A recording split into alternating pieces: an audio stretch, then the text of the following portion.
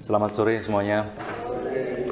Uh, selama beberapa kali pertemuan kita akan uh, membahas uh, tentang Friedrich Nietzsche, pemikir yang tentu uh, secara populer begitu ya kita kenal uh, dia yang uh, membunuh Tuhan begitu ya.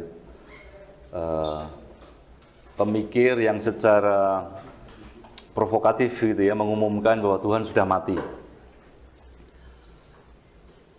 Saya sudah menuliskan sebetulnya semua tafsir saya itu di buku Gaya Filsafat Nietzsche, terbit tahun 2004 ya, sudah lama. Sayang sudah habis, jadi sudah habis dan tidak dicetak uh, ulang, maka memang uh, uh, tidak bisa ditemukan. Uh, kemungkinan nanti uh, ada teman dari sini, uh, Al ya, Mas Al itu yang akan me mengedit ulang dan menerbitkan ulang uh, buku ini sehingga nanti bisa dimiliki. Semoga saja. Dalam tiga pertemuan yang akan uh, kita lalui ini, saya membagi kurang lebih begini. Pertama, ini semacam perkenalan ya uh, mengenai diri Nietzsche, mengenai pengalaman Nietzsche. Kemudian pertemuan kedua, saya hendak uh, mengungkapkan apa yang menjadi menurut saya uh, pemikiran inti dari Nietzsche yang tidak mudah ya, yaitu soal kebutuhan untuk percaya. Ya, kebutuhan untuk pegangan. Bahwa setiap manusia memiliki hasrat kebutuhan akan pegangan itu.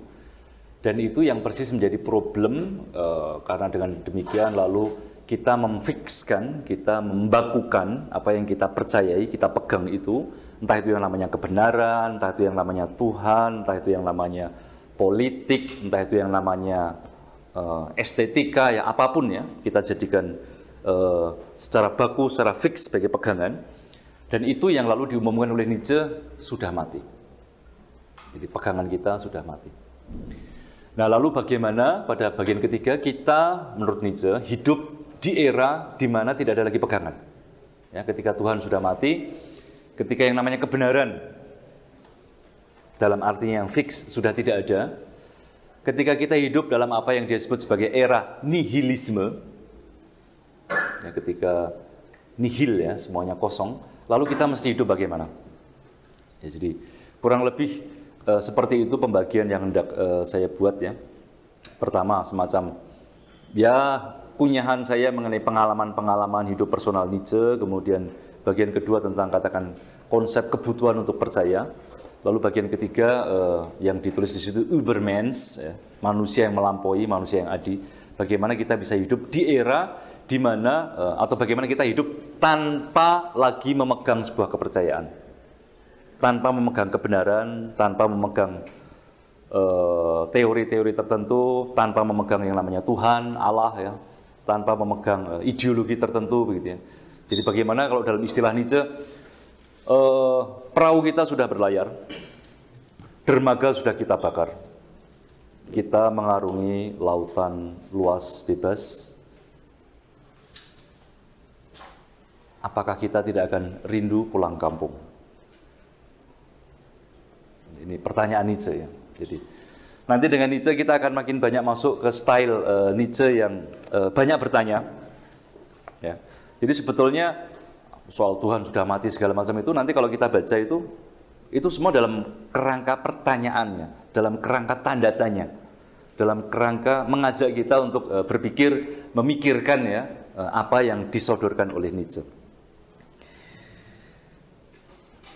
Nietzsche uh, memiliki sebuah uh, pengalaman yang uh, nanti terutama akan saya bahasakan di sini yaitu pengalaman keterputusan-keterputusan dalam hidupnya.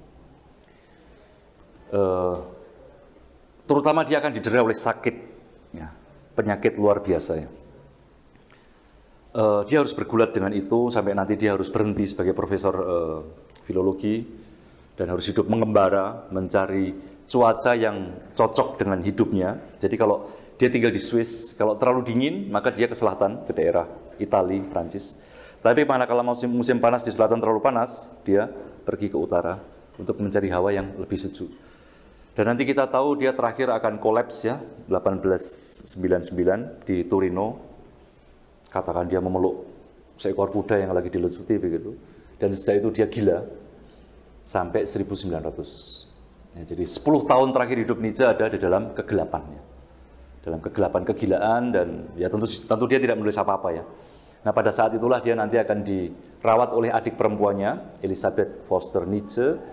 Dan pada saat itulah nanti, uh, ya ini ya, ini yang juga jarang diketahui orang, kakaknya yang akan uh, memanipulasi teks-teks Nietzsche, karena kakaknya ini dia dulu suaminya yang sudah meninggal, suaminya adalah salah seorang uh, penggemar Nazi ya, penggemar uh, ideologi antisemit, anti Yahudi di Jerman ya.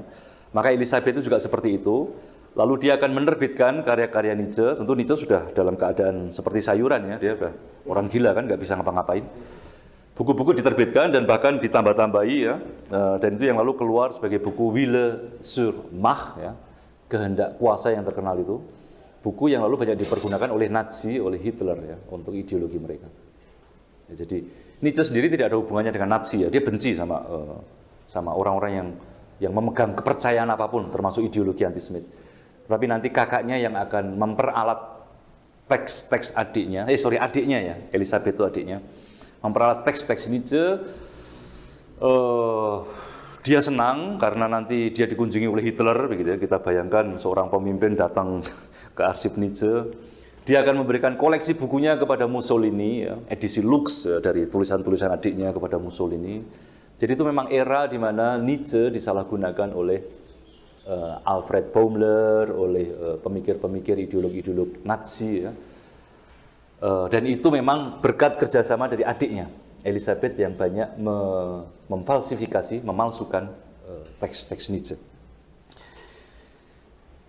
Beruntung bahwa teks-teks uh, yang kita gunakan sekarang ini, katakan sejak 1000, sejak 2000-an lah, kita sudah memiliki teks-teks yang sudah dibersihkan oleh uh, Mazzino Montinari dan uh, Giorgio Colli, dua ilmuwan dari uh, Itali yang melakukan penyelidikan dan lalu membersihkan teks-teks Nietzsche dari katakan tambahan-tambahan, paragraf-paragraf tambahan yang dibuat oleh kakaknya maupun oleh temannya ya yang membantu mengedit teks-teksnya Nietzsche.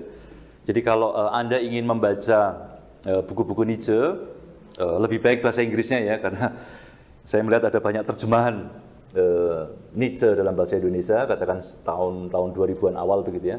Tetapi jelek ya, eh, bahasanya lumayan ngawur. Jadi lebih baik cari yang bahasa Inggris dan bahasa Inggris yang diberi keterangan berdasarkan teks yang sudah diedisi oleh Colli Montinari. Ya.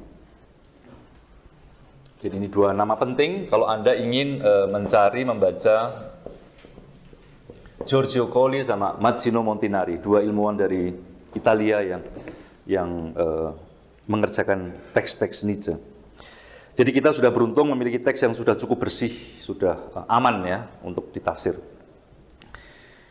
Kemudian uh, kalau uh, Nietzsche akhirnya naik ke derajat sebagai filsuf serius, ya, jadi Nietzsche kan meninggal 1900. Lalu 1920 itu Hitler ya mulai naik 1930-an nanti partai Nazi berkuasa 1937 Pearl Harbor perang dunia ya 42 lalu 45 ya perang dunia kedua. Nietzsche eh, dianggap lama dianggap hanya sebagai penyair penulis puisi ya nyentrik ya. Tulisannya itu susah dipahami karena dia menulis secara terputus-terputus dalam gaya yang disebut aforisme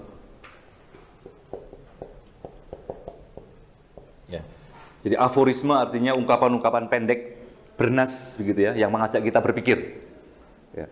Jadi kalau Anda mencari bukunya Nietzsche, tentu ada buku-buku yang terstruktur rapi, seperti The Birth of Tragedy, ya, lahirnya tragedi, genealogi moral. Ya. Tetapi kalau Anda membaca buku misalnya yang saya, saya jadikan dasar untuk uh, buku ini, The Gay Science, ya, ilmu yang mengasyikkan, gitu ya, gaya siensa, ilmu yang mengasyikkan, gaya siensa, kita akan berhadapan dengan banyak aforisme. Ya, ungkapan-ungkapan pendek, paragraf-paragraf yang tidak berhubungan satu sama lain begitu ya. Jadi kalau kita membaca juga ya membaca berurutan dari awal sampai belakang atau membaca dari tengah-tengah juga nggak ada bedanya karena uh, isinya cuma paragraf-paragraf potongan begitu ya. Ini tentu berkaitan juga dengan uh, cara hidup, gaya hidup uh, Nietzsche sendiri dan juga cara dia berpikir yang memang uh, uh, saya tulis di sini uh, tidak mau dipahami. Ya, jadi ada ada banyak orang menulis buku pengen supaya dipahami begitu ya. Tapi kalau Nietzsche dia justru dia justru khawatir kalau tulisannya dipahami orang. Dia dia bilang kalau buku saya disalahpahami, ya mungkin yang terluka hanya harga diri saya sedikit terluka ya. Kok ada orang bodoh menyalahpahami buku saya begitu. Tapi kalau buku saya dipahami, saya justru malah iba. Saya jadi nggak tega. Karena lalu orang itu berarti punya pengalaman yang semengerikan yang saya alami. Itu itu Nietzsche ya, itu makanya dia tidak suka disalahpahami. Karena kalau orang paham berarti memang hidup ini memang yang mengerikan ya, memang menyakitkan eh, banyak penderitaan. Saya bertitik tolak untuk mengatakan eh, pengalaman Nietzsche ini adalah pengalaman riwayat hidup seorang manusia yang soliter ya. Soliter artinya eh, solus itu sendiri, yang penyendiri, yang bergulat dengan dirinya sendiri, yang juga dari pergulatannya itu lalu memiliki pengalaman-pengalaman spesifik khas yang memang lalu sulit untuk di, dikomunikasikan ya, sulit dikomunikasikan, sehingga akhirnya e, tidak ada jalan lain untuk mengkomunikasikannya kecuali dengan strategi tertentu, yaitu dengan menulis secara aforistik, lalu menulis dengan cara yang dia sebut sendiri labirin. Ya, Anda tahu labirin ya? Labirin itu yang e, kayak taman begitu ada banyak pintu, lalu sekali Anda masuk, e, Anda tidak bisa keluar Ya. Itu cerita mengenai Theseus uh, dan Ariadne dari mitologi Yunani ya. Jadi ada kebiasaan orang Yunani itu mengirimkan uh, persembahan manusia kepada Minotaurus yang berkuasa di sebuah labirin, gua. Setiap lelaki perjaka yang dimasukkan pasti mati. Ya, karena di masuk labirin bisa masuk, keluar nggak bisa lalu dimakan oleh Minotaurus. Maka suatu ketika Theseus, orang Yunani itu dia menjadi korban. Ya. Kebetulan dia dicintai oleh seorang perempuan bernama Ariadne, ya, anak seorang raja. Lalu dia memberikan benang kepada Theseus supaya kalau dia masuk uh, ke gua itu, dia ketemu Minotaurus, dia berkelahi bisa membunuh dan bisa keluar. Ya. Jadi maka kadangnya ada ada istilah itu bahwa untuk masuk labirin kita harus punya benang Ariadne ya, benangnya uh, Ariana atau Ariadna.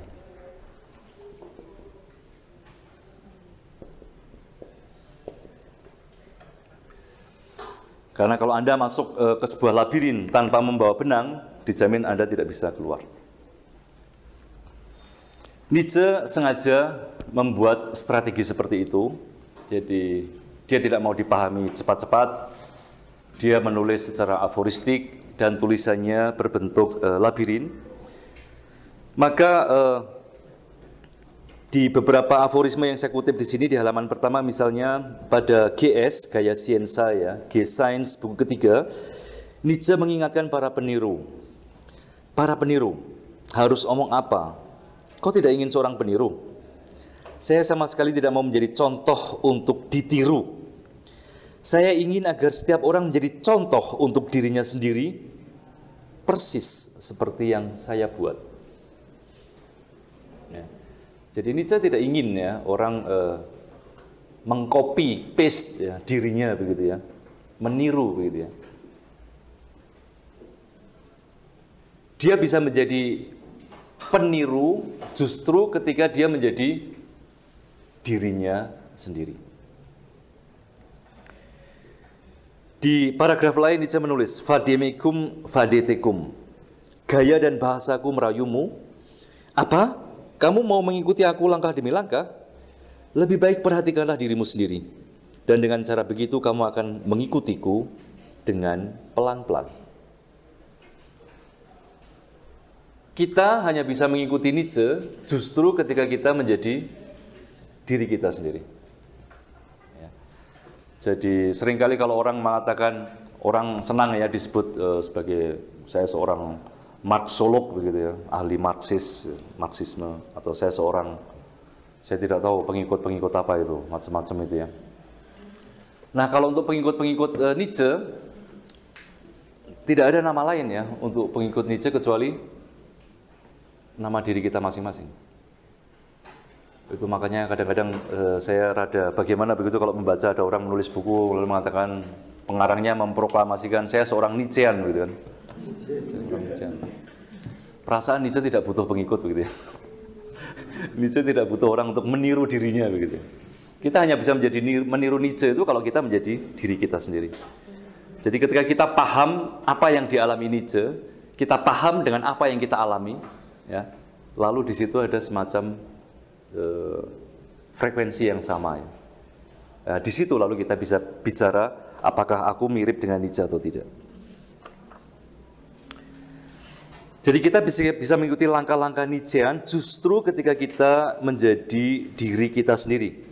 Dengan dengan cara begitu Nietzsche sebetulnya me, mengatakan ulang apa yang menjadi prinsip dari uh, kebijaksanaan dewa Apollon ya yang diikuti oleh Socrates dan Platon yaitu uh, kenalilah dirimu sendiri. Gnoti sauton atau gnoti seauton. Namun kalau di kuil Delphi itu tempat Apollo bertahta itu tulisan ya kenalilah dirimu sendiri ini tentu merujuk kepada perintah bahwa Ya, ketika kita masuk kuil Apollo lalu kita melihat kenalilah dirimu sendiri dan jangan berlebihan ya. Tentu di situ maksudnya adalah kenalilah bahwa kita adalah mortal, sementara para dewa adalah immortal ya. Jadi kenalilah dirimu sendiri. Nah, kalau Nietzsche tentu saja pengenalan diri sendiri itu sebagaimana nanti akan kita kita akan lihat tidak ada referensi apa pun pada yang namanya yang kudus, pada yang namanya yang transenden, pada sesuatu yang di luar kita. Apakah dengan demikian uh, Nietzsche seorang ateis? Tentu saja, ya, tidak ada keraguan sedikit pun ya. Nietzsche adalah ateis. Saya tidak mau membela Nietzsche. Ya. Nietzsche seorang ateis itu sangat jelas begitu ya. Namun juga jangan lupa bahwa Nietzsche orang yang juga mengolok-olok ateisme. Ya, jangan lupa. Nanti di salah satu teks akan saya pertunjukkan ketika dia mengatakan bahwa ada sebuah kepercayaan baru yang bertumbuh kembang di San Petersburg, di Moskow, di Rusia, namanya kepercayaan pada ketidakpercayaan. Jadi ketika komunisme muncul di Rusia, ya awal-awalnya ya, karena kan doktrin, maksudnya negara Uni Soviet itu kan baru 1917, 1918 ya. Tapi kan doktrin mengenai nihilisme, doktrin mengenai Marxisme itu kan sudah muncul uh, pada zaman-zaman Nietzsche yang mengatakan bahwa uh, dalam ideologi komunisme itu Tuhan tidak ada. Ya. Nah, kalau teisme mengatakan kita harus percaya adanya Tuhan, ateisme mengatakan kita harus percaya bahwa Tuhan tidak ada. Dan dua-duanya sama-sama orang yang percaya. Yang satu percaya bahwa Tuhan harus ada, yang satunya percaya Tuhan harus tidak ada. Kalau Tuhan, kamu bilang Tuhan ada, wah saya siksa kamu, gitu. saya bunuh kamu. Anda baca saja konstitusi negara Cina sekarang ini ya, pasal-pasalnya. Kalau kita punya Pancasila, kalau orang Cina kan punya. Bahwa Tuhan tidak ada, barang siapa menyebarkan ajaran agama, hukumannya apa, ya ada semua ya. Maka sama seperti agama itu punya pasukan-pasukan pembelanya yang siap mati ya Ateisme juga begitu. Punya pasukan-pasukan yang siap menjaga kelurusan doktrin tiadanya Tuhan. Sama persis. Ya. Lalu poinnya di mana? Poinnya di itu tadi yang saya bilang pada awal, pada inti e, pemikiran Nietzsche yaitu soal kebutuhan untuk percaya. Manusia itu selalu butuh untuk percaya, apa pun. Ada yang butuh percayanya Tuhan, ada yang butuh percayanya UFO, ya. UFO harus ada. Kalau Anda bilang UFO tidak ada, wah langsung marah-marah begitu kan. Pukuli begitu ya. Ada yang percayanya sama yang subur gitu ya. Jadi kalau yang subur mulai dikritik-kritik, wah langsung marah begitu ya. Anda menjadi pembela. Ada yang percayanya sains. Kepala dingin ya, profesor yang dingin, objektif, lurus gitu ya. Sains. Tapi kalau ada orang mulai mengkritik bahwa sains itu gini-gini, wah langsung dia mulai emosi kelihatan. Semua objektivitas dan dinginnya hilang gitu ya, karena dia merasa kebenaran saintifik di utak-utik gitu ya. Jadi poinnya adalah bahwa e, di semua isme orang memiliki kebutuhan akan percaya. Jadi Nietzsche tentu adalah seorang ateis, tidak diragukan, tetapi ateis yang lebih kompleks daripada yang uh, kita kira, karena ateismenya akan, uh, untuk kita sendiri ya, juga untuk saya tentu saja, ateismenya akan banyak menanyai kita ya, kalau saya percaya Tuhan, uh, kenapa begitu ya? What is wrong with myself? Ya. Kalau saya percaya pada Tuhan, apa yang salah dengan diri saya? Karena nanti Nietzsche akan mengajak kita berpikir genealogi, artinya dari kepercayaan-kepercayaan itu sebetulnya diri saya, ya, self, diri saya ini kenapa? Apakah diri saya ini butuh pegangan? Kalau diri saya butuh pegangan, kenapa? Jangan-jangan karena badan saya terserak-serak, karena hidup saya terserak-serak, ya. sehingga lalu saya membutuhkan sesuatu dari luar untuk menyatukan diri saya. Jadi saya kira untuk kita semua uh, ini uh, menanyai ya, membuat kita berpikir serius ya mengenai uh, uh, relasi atau mengenai bagaimana kita uh, uh, beriman begitu ya pada apa yang uh, kita kita pegang sebagai kebaikan, kita perjuangkan sebagai kebaikan begitu ya. Jadi Nietzsche akan mengkritik semua bentuk isme-isme dan isme-isme ini uh, katakan uh, yang yang saya bilang sebagai ide fix gitu ya.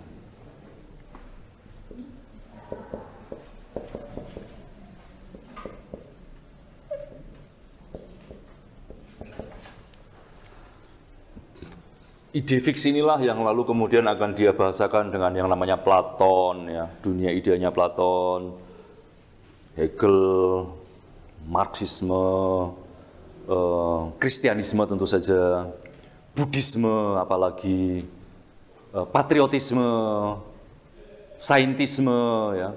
Jadi semua yang bentuknya isme akan dia dia kritik sebagai kepercayaan sebagai ide fix dan itu akan dia bongkar akan dia bongkar gampangnya ke uh, manusianya. Yaitu lewat prosedur yang disebut genealogi. Manusianya yang tidak lain adalah kehendak. Ya. Jadi uh, kita akan masuk ke riwayat hidup dan pengalaman uh, personal dari Nietzsche uh, untuk uh, memahami uh, bahwa Nietzsche uh, uh, dia punya latar belakang pendidikan yang serius gitu ya. Jadi karena jargon-jargon Tuhan sudah mati, penyair segala macam, tolong dibukanya. Itu kadang-kadang kita lupa bahwa Nietzsche adalah seorang pemikir yang sangat serius, yang uh, formasi ya tahap pendidikan pembentukan yang dialami juga uh, sangat uh, serius dan uh, saya tadi lupa menyebutkan kalau ada satu nama besar yang membuat Nietzsche sebagai filsuf itu adalah Martin Heidegger. Nah, jadi berkat jasa Martin Heidegger ya. Jadi Martin Heidegger tentu dia terlibat Nazi juga ya, dia menjadi rektor Nazi pada tahun 33 tapi kemudian tahun 34 dia mundur. Uh, setelah mundur dari rektor Nasi dia akan mengajarkan tentang Nietzsche tahun 36, 37. Tapi cara dia mengajar sama sekali lain dengan uh, omongan ideologis kelompok Nazi ya. Dia akan membuat Nietzsche sangat sistematis, dua buku besar, dua buku tebal tentang kuliah dia tentang Nietzsche dia terbitkan. Dan uh, sangat sistematis sehingga nanti Heidegger akan menunjukkan bahwa Nietzsche adalah seorang metafisikus terakhir. Jadi ini tentu saja sangat sangat berkebalikan dengan cara baca saya bahwa Nietzsche betul-betul kritikus atas metafisika ya. Tapi Heidegger dengan optiknya sendiri mengenai ontoteologi dia akan mengatakan bahwa dari Platon sampai Nietzsche semuanya berpikir secara metafisis ya. Namun lepas dari itu, lepas dari tesisnya yang tentu bisa diperdebatkan, jasa besar Heidegger adalah mengangkat Nietzsche ke kelas para filsuf. Ya, ini pertama kalinya ditunjukkan secara sistematis cara berpikirnya Nietzsche. Jadi jasa Heidegger adalah itu. Baik kita lihat uh, sebentar Nietzsche.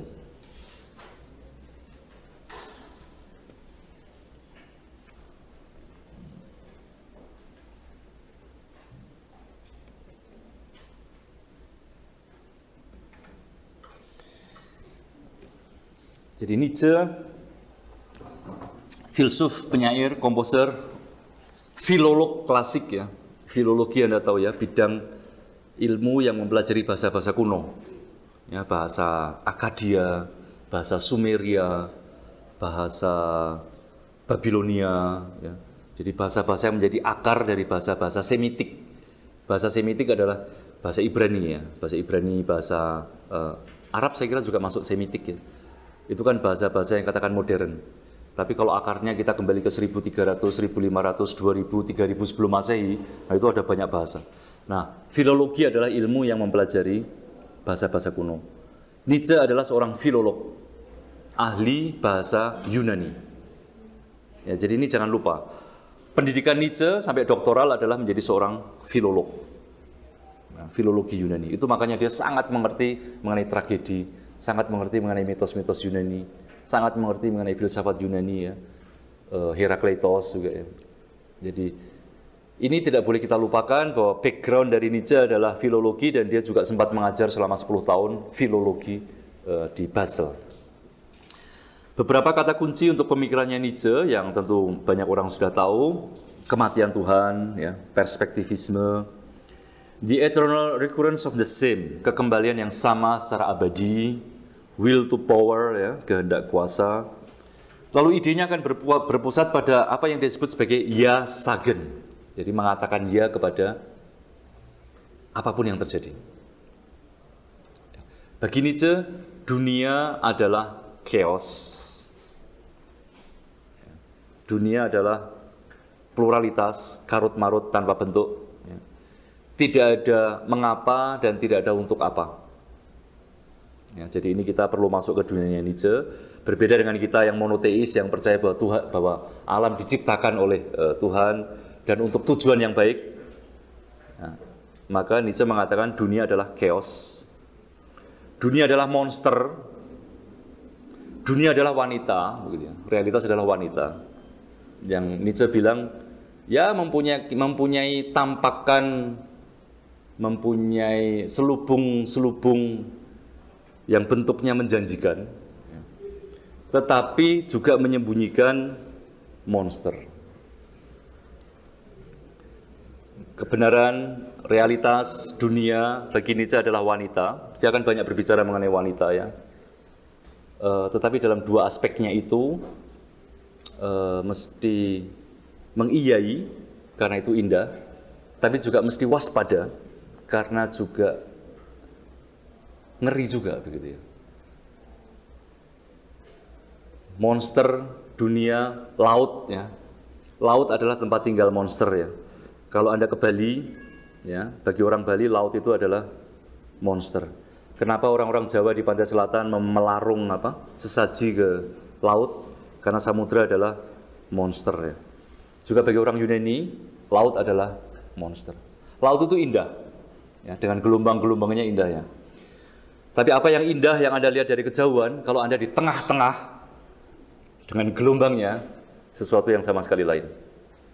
Ya, jadi dunia seperti itu bagi Nietzsche ya. Dan dia uh, dalam katakan uh, pemikirannya, dia akan mengatakan bahwa kita mesti mengiyai ya, apa pun yang ada seada-adanya. Tanpa katakan terlalu banyak uh, bertanya mengapa atau untuk apa. Karena begitu kita mencari-cari mengapa dan untuk apa, kita akan jatuh dalam ide fix, dalam kepercayaan.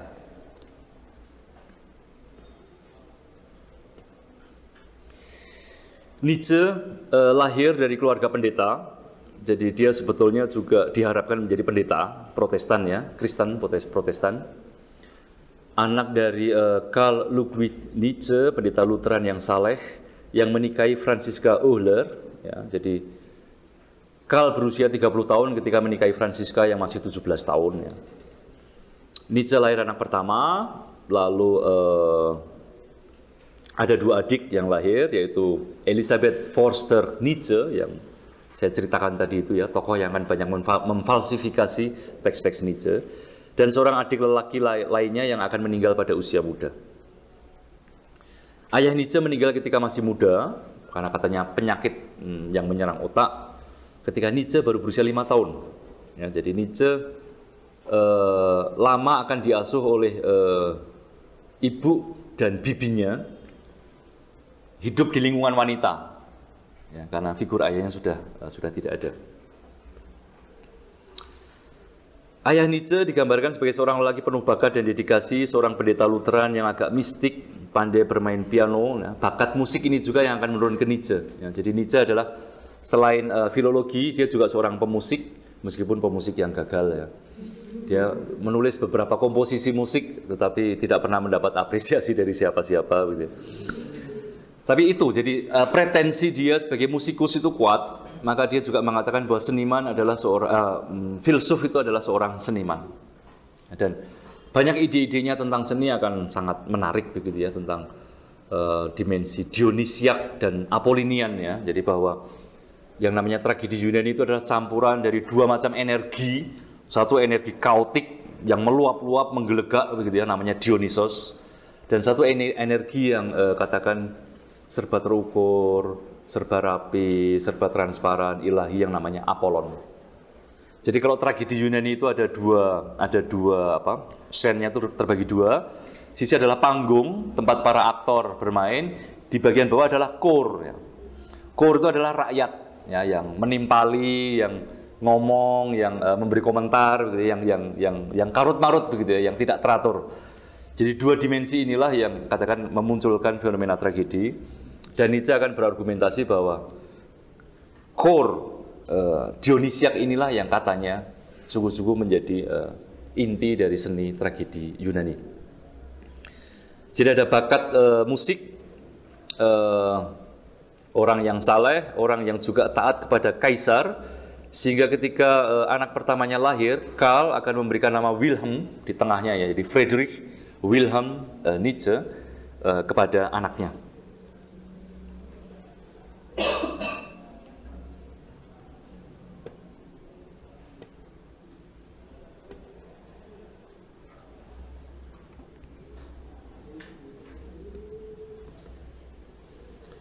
Ini rumah dinas Nietzsche zaman itu.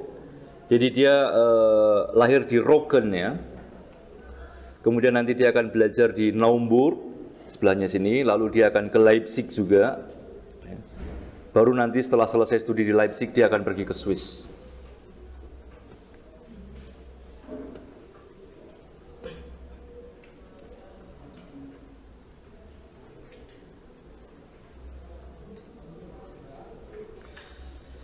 Digambarkan bahwa Nietzsche uh, dari kecil adalah orang yang uh, tenang, ya, uh, anak yang saleh, begitu ya, uh, dan uh, karena itu keluarga pendeta, maka ada harapan bahwa Nietzsche juga entah bagaimana nanti akan melanjutkan ya karir keluarga itu juga menjadi pendeta.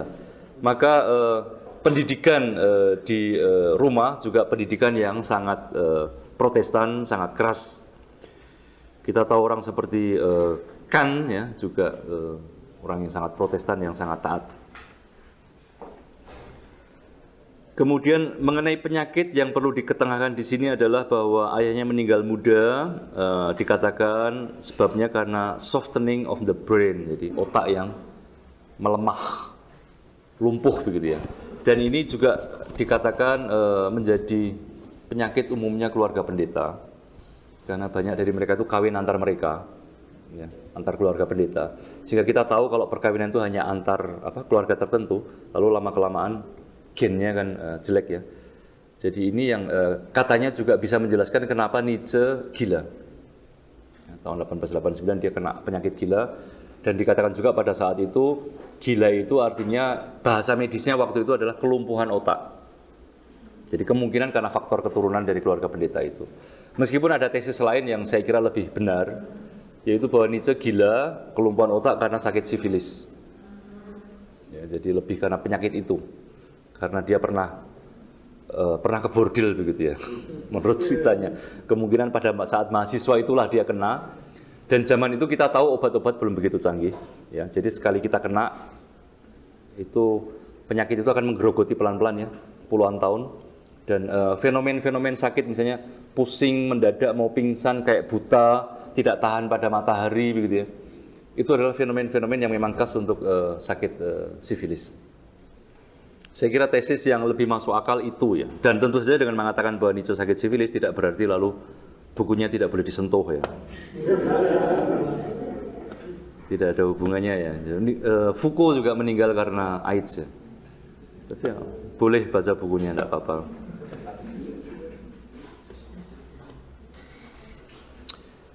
Uh,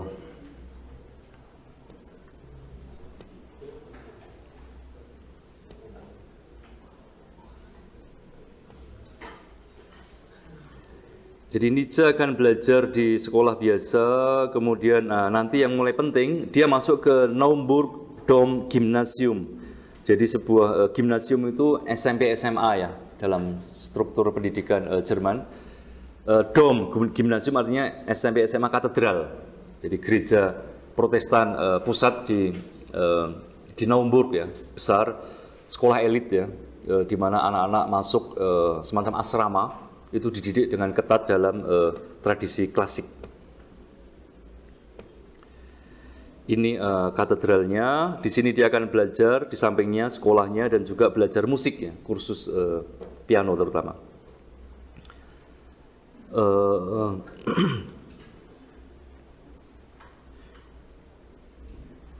Jadi ada biografi bagus uh, tiga volume Kurt Paul Jans, ya, Nietzsche, uh, dia membuat tiga volume biografi Nietzsche yang secara detail ya menggambarkan uh, bagaimana uh, apa yang dialami Nietzsche dari kecil sampai uh, uh, katakan periode kegilaan. Jadi beberapa saya ambilkan dari uh, buku ini, elemen-elemen ini, dan saya kira apa yang diceritakan di oleh Kurt Paul Jans ini bukan bukan hagiografi ya. Anda pernah dengar istilah itu? Hagiografi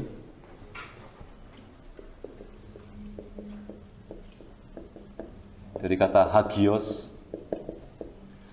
Hagia Sophia di Turki itu, itu kan dari kata hagios, hagia, itu artinya suci. Jadi tulisan-tulisan mengenai orang suci ya, yang biasanya kita bilang, e, orang suci ini sejak kecil sudah sangat saleh gitu ya. Ketika umur tiga tahun sudah melakukan ini, melakukan itu begitu ya. Jadi pokoknya ceritanya semua baik-baik serba serba tanpa noda begitu ya. Nah, saya kira Kurt Paul Jans bukan tipe orang yang uh, menulis seperti itu. Dia menuliskan fakta-fakta apa adanya. Uh, beberapa penulis lain tentu saja Elizabeth juga menulis biografi adiknya, tetapi dengan nada yang sangat hagiografi begitu.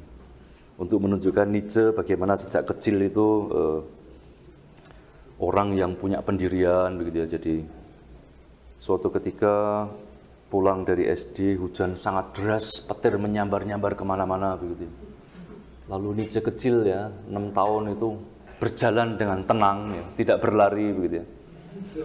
Melewati hujan deras begitu pulang ke rumahnya gitu.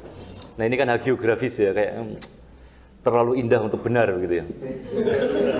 terlalu bagus untuk benar begitu ya. Nah, Kurt Paul Jans banyak memberikan elemen-elemen menarik yang uh, tentu saja menunjukkan bahwa memang ada bakat-bakat bagus dari anak ini Eh, tapi juga yang soal, saya kira soal penyakit sifilis dia juga bicara apa adanya ya, karena memang ya itu normal juga. Nietzsche bukan orang yang uh, uh, womanizer ya, yang mencari banyak perempuan seperti siapa? Ahmad Fatonah gitu ya. bukan, bukan, bukan seperti itu Nietzsche. Dia bahkan relasi, dia saya kira kalau sejauh saya tahu ya jatuh cinta sekali begitu ya uh, pada wanita yang sama begitu. Uh, siapa nanya? Lu Salome ya. Lu Andres Salome. Lu, sorry, Lu Salome. Tapi uh, dia jatuh cinta, tapi dia melamar uh, sekali ditolak, melamar dua kali ditolak lagi begitu ya. Jadi akhirnya dia hidup sendiri. Jadi uh, secara afektif memang uh, uh, tidak sukses hidupnya ya.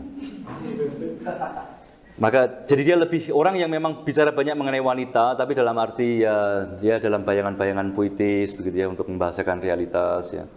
E, tidak ada misoginisme ya kebencian pada wanita, tidak ada juga terlalu pemujaan terhadap wanita begitu ya. Tapi lebih e, jarak ya, selalu e, distance ya, ambil jarak terhadap yang namanya wanita atau realitas. Nah kemudian eh, saya Ini adalah sekolah yang penting juga yang akan dilewati Nietzsche di Forta, eh, asrama yang ketat, sekolah elit, di mana dari situ akan muncul tokoh-tokoh seperti eh, Fichte ya. Ini bentuk asramanya seperti ini.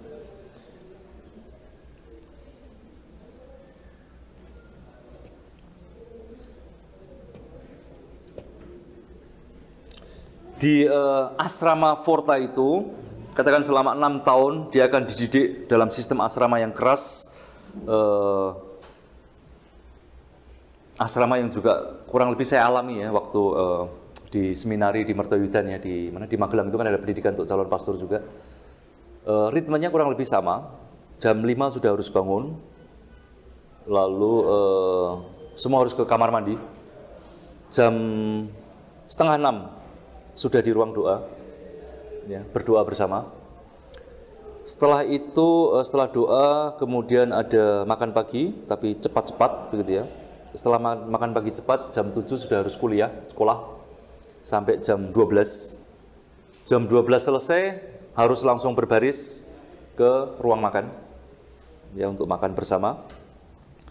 E, dengan tertib, ya, dengan teratur, dan kemudian uh, setelah itu uh, ada waktu sedikit untuk uh, uh, istirahat ya after a brief leisure period lessons were resumed ya jadi setelah istirahat sebentar ya, setelah makan siang istirahat sebentar jam 2 sudah mulai lagi untuk sekolah lagi lalu jam 19 jam 7 itu adalah doa malam vesper ya dan setelah uh, doa malam, uh, murid-murid diberi waktu sedikit untuk rekreasi, sekedar jalan-jalan, atau kalau dulu saya di seminari main karambol begitu ya. 15 menit, 20 menit ya. Setelah itu uh, harus uh, belajar lagi. Setelah belajar ada obligatory evening prayer, dan setelah itu jam 9 listrik mati. Semua harus tidur. Ya, jadi Nietzsche uh, hampir enam tahun hidup di asrama seperti itu dengan didikan keras Protestan ya karena dari dari situlah banyak pendeta-pendeta muncul uh, dengan tradisi klasik ya. jadi Nietzsche mulai berkenalan dengan uh, uh, filsuf-filsuf atau penyair atau pengarang-pengarang Yunani ketika di uh, SMA ini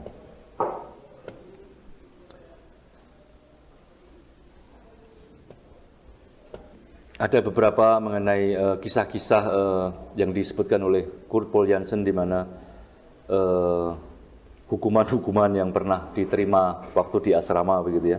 Karena tercatat semua ya dalam model asrama seperti itu. Apa pun ya, misalnya ada ada murid mencuri alpukat begitu ya. Ada murid keluar dari rumah ya, melebihi jam yang ditentukan gitu ya. Semua dicatat dan ada hukumannya. Uh, Nietzsche pernah ketahuan sekali mabuk gitu ya dengan teman-temannya. Jadi keluar hari Minggu kan rekreasi, kebanyakan minum gitu ya. Jadi itu itu dicatat oleh sekolah. Nah di high school level inilah, di SMA inilah dia sudah menulis tentang Theognis dari Megara misalnya. Seorang pengarang uh, Yunani. Kemudian nanti uh, dari Forta ini setelah lulus uh, Forta sebagaimana anjuran orang tuanya maka dia lalu setelah SMA dia belajar di Fakultas Teologi dia untuk menjadi pendeta. Tetapi dia hanya kuat setahun. Dia hanya belajar teologi setahun. Nggak tahu kenapa lalu dia semacam sudah memutuskan bahwa karirnya tidak akan menjadi pendeta. Maka lalu dia pindah ke Leipzig untuk belajar filologi. Jadi sejak saat itulah karirnya akan lebih masuk ke filologi. Dan satu hal yang juga uh, perlu kita sadari di sini, Nietzsche had already argued that historical research has discredited the central teachings of Christianity. Ya, jadi saya gambarkan di sini uh, tokoh namanya uh, David Strauss yang menulis buku Life of Jesus ya. Ini konteks yang perlu juga dipahami uh, karena Nietzsche mengkritik banyak uh, Kristianisme, mengkritik agama-agama, yaitu yang namanya uh, disebut teologi liberal, yang benih-benihnya sudah muncul di kelompok Protestan, jadi bukan Katolik ya. Jadi Justru secara uh, menarik yang meliberal, meliberalkan teologi itu bukan pertama-tama bukan kelompok Katolik karena Katolik dikenal selalu ortodoks tradisional ya, tetapi kelompok Protestan. Jadi mulai uh, katakan dengan Feuerbach abad-abad 18-19 itu sudah mulai pemikir-pemikir teologi liberal yang mencoba membedakan antara yang disebut sebagai historical Jesus dengan uh, Christ of faith. Ya. Antara Yesus historis dan Kristus sebagai iman. Ya, jadi ini yang nanti penting karena orang seperti David Strauss, seperti Feuerbach yang bicara mengenai the essence of Christianity, mereka akan mengatakan bahwa Kristianisme itu apa sih? Mengapa ada ajaran dogma, ajaran ini itu segala macam? Ini kan sebetulnya semuanya ciptaan Paulus. Ya, jadi yang yang membuat gereja menjadi seperti ini itu sebetulnya Paulus. Sebagaimana kalau dirunut itu di surat-surat Santo Paulus ya. Lah Yesus itu siapa? Yesus bagaimana diceritakan oleh empat pengarang Injil sepertinya berbeda dengan Kristus yang diwartakan oleh Paulus. Ya, jadi kalau ini adalah Paulus, maka ini adalah sejarah. Dan e, mereka mulai akan membedakan bahwa yang namanya Yesus historis itu adalah ya manusia yang baik-baik ya, mengajarkan yang baik-baik supaya kita mengampuni, berbelas kasih begitu ya. Pelacur juga diterima ya, orang Farisi juga diterima begitu ya, pemungut cukai diterima begitu ya tapi dia tidak mendirikan agama. Dia nggak bikin agama, dia nggak bikin institusi, nggak bikin apa-apa. Nah, Christ of faith, of faith inilah, iman inilah yang diwartakan Paulus yang lalu menjadi gereja dengan segala institusi yang eh, katakan membelenggu manusia.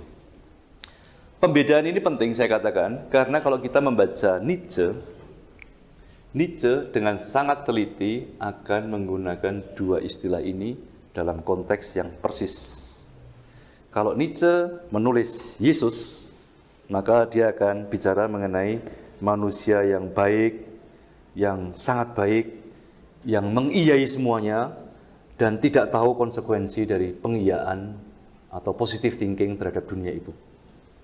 Karena demikian positifnya dia kepada dunia, maka akhirnya dia dibunuh, disalib, dan bahkan terhadap pembunuhnya pun dia mengampuni. Begitu kan. Ini kan bagaimana orang baik itu sungguh-sungguh baik sampai ujung begitu ya sampai dia sendiri mati pun masih masih diterima begitu ya masih mengampuni yang membunuh dia sementara nanti kalau Nietzsche menyebut nama Kristus maka dia di sini akan berbicara mengenai agama Kristiani yang moralistik yang menghancurkan Eropa memasukkan Eropa dalam periode nihilisme jadi ketika Tuhan itu adalah Tuhan yang maha kuasa yang lalu tahu segala perilaku kita, tahu perilaku kita dalam arti moral ya. Dan dia itu mengawasi kita uh, lewat institusi yang namanya gereja dengan pendeta dan pastornya, yang mereka itulah yang memberikan pembebasan dosa atau penghukuman neraka begitu ya. Sebuah uh, simbol uh, ide fix ya, kepercayaan, seperti patriotisme, seperti fanatisme, seperti apa pun isme-isme yang uh, katakan uh, menghancurkan dunia. Membelah dunia menjadi dua, ya, yang baik dan yang buruk. Ya. Dengan Anda membelah dunia, artinya Anda sedang membunuh dunia.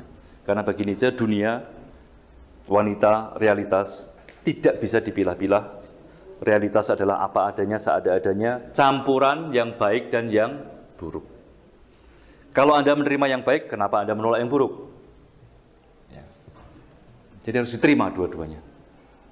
Itulah yang artinya yasagen, menerima realitas apa adanya. Sementara yang namanya uh, moral, atau kalau Anda baca genealogi moral ya, moral Kristianisme atau moral metafisika secara umum, ajarannya adalah sangat sederhana dunia ini jahat, dunia ini busuk, dunia ini jelek begitu ya. Maka kalian harus menolak dunia ini supaya Anda mendapatkan dunia lain setelah nanti. Sederhananya begitu.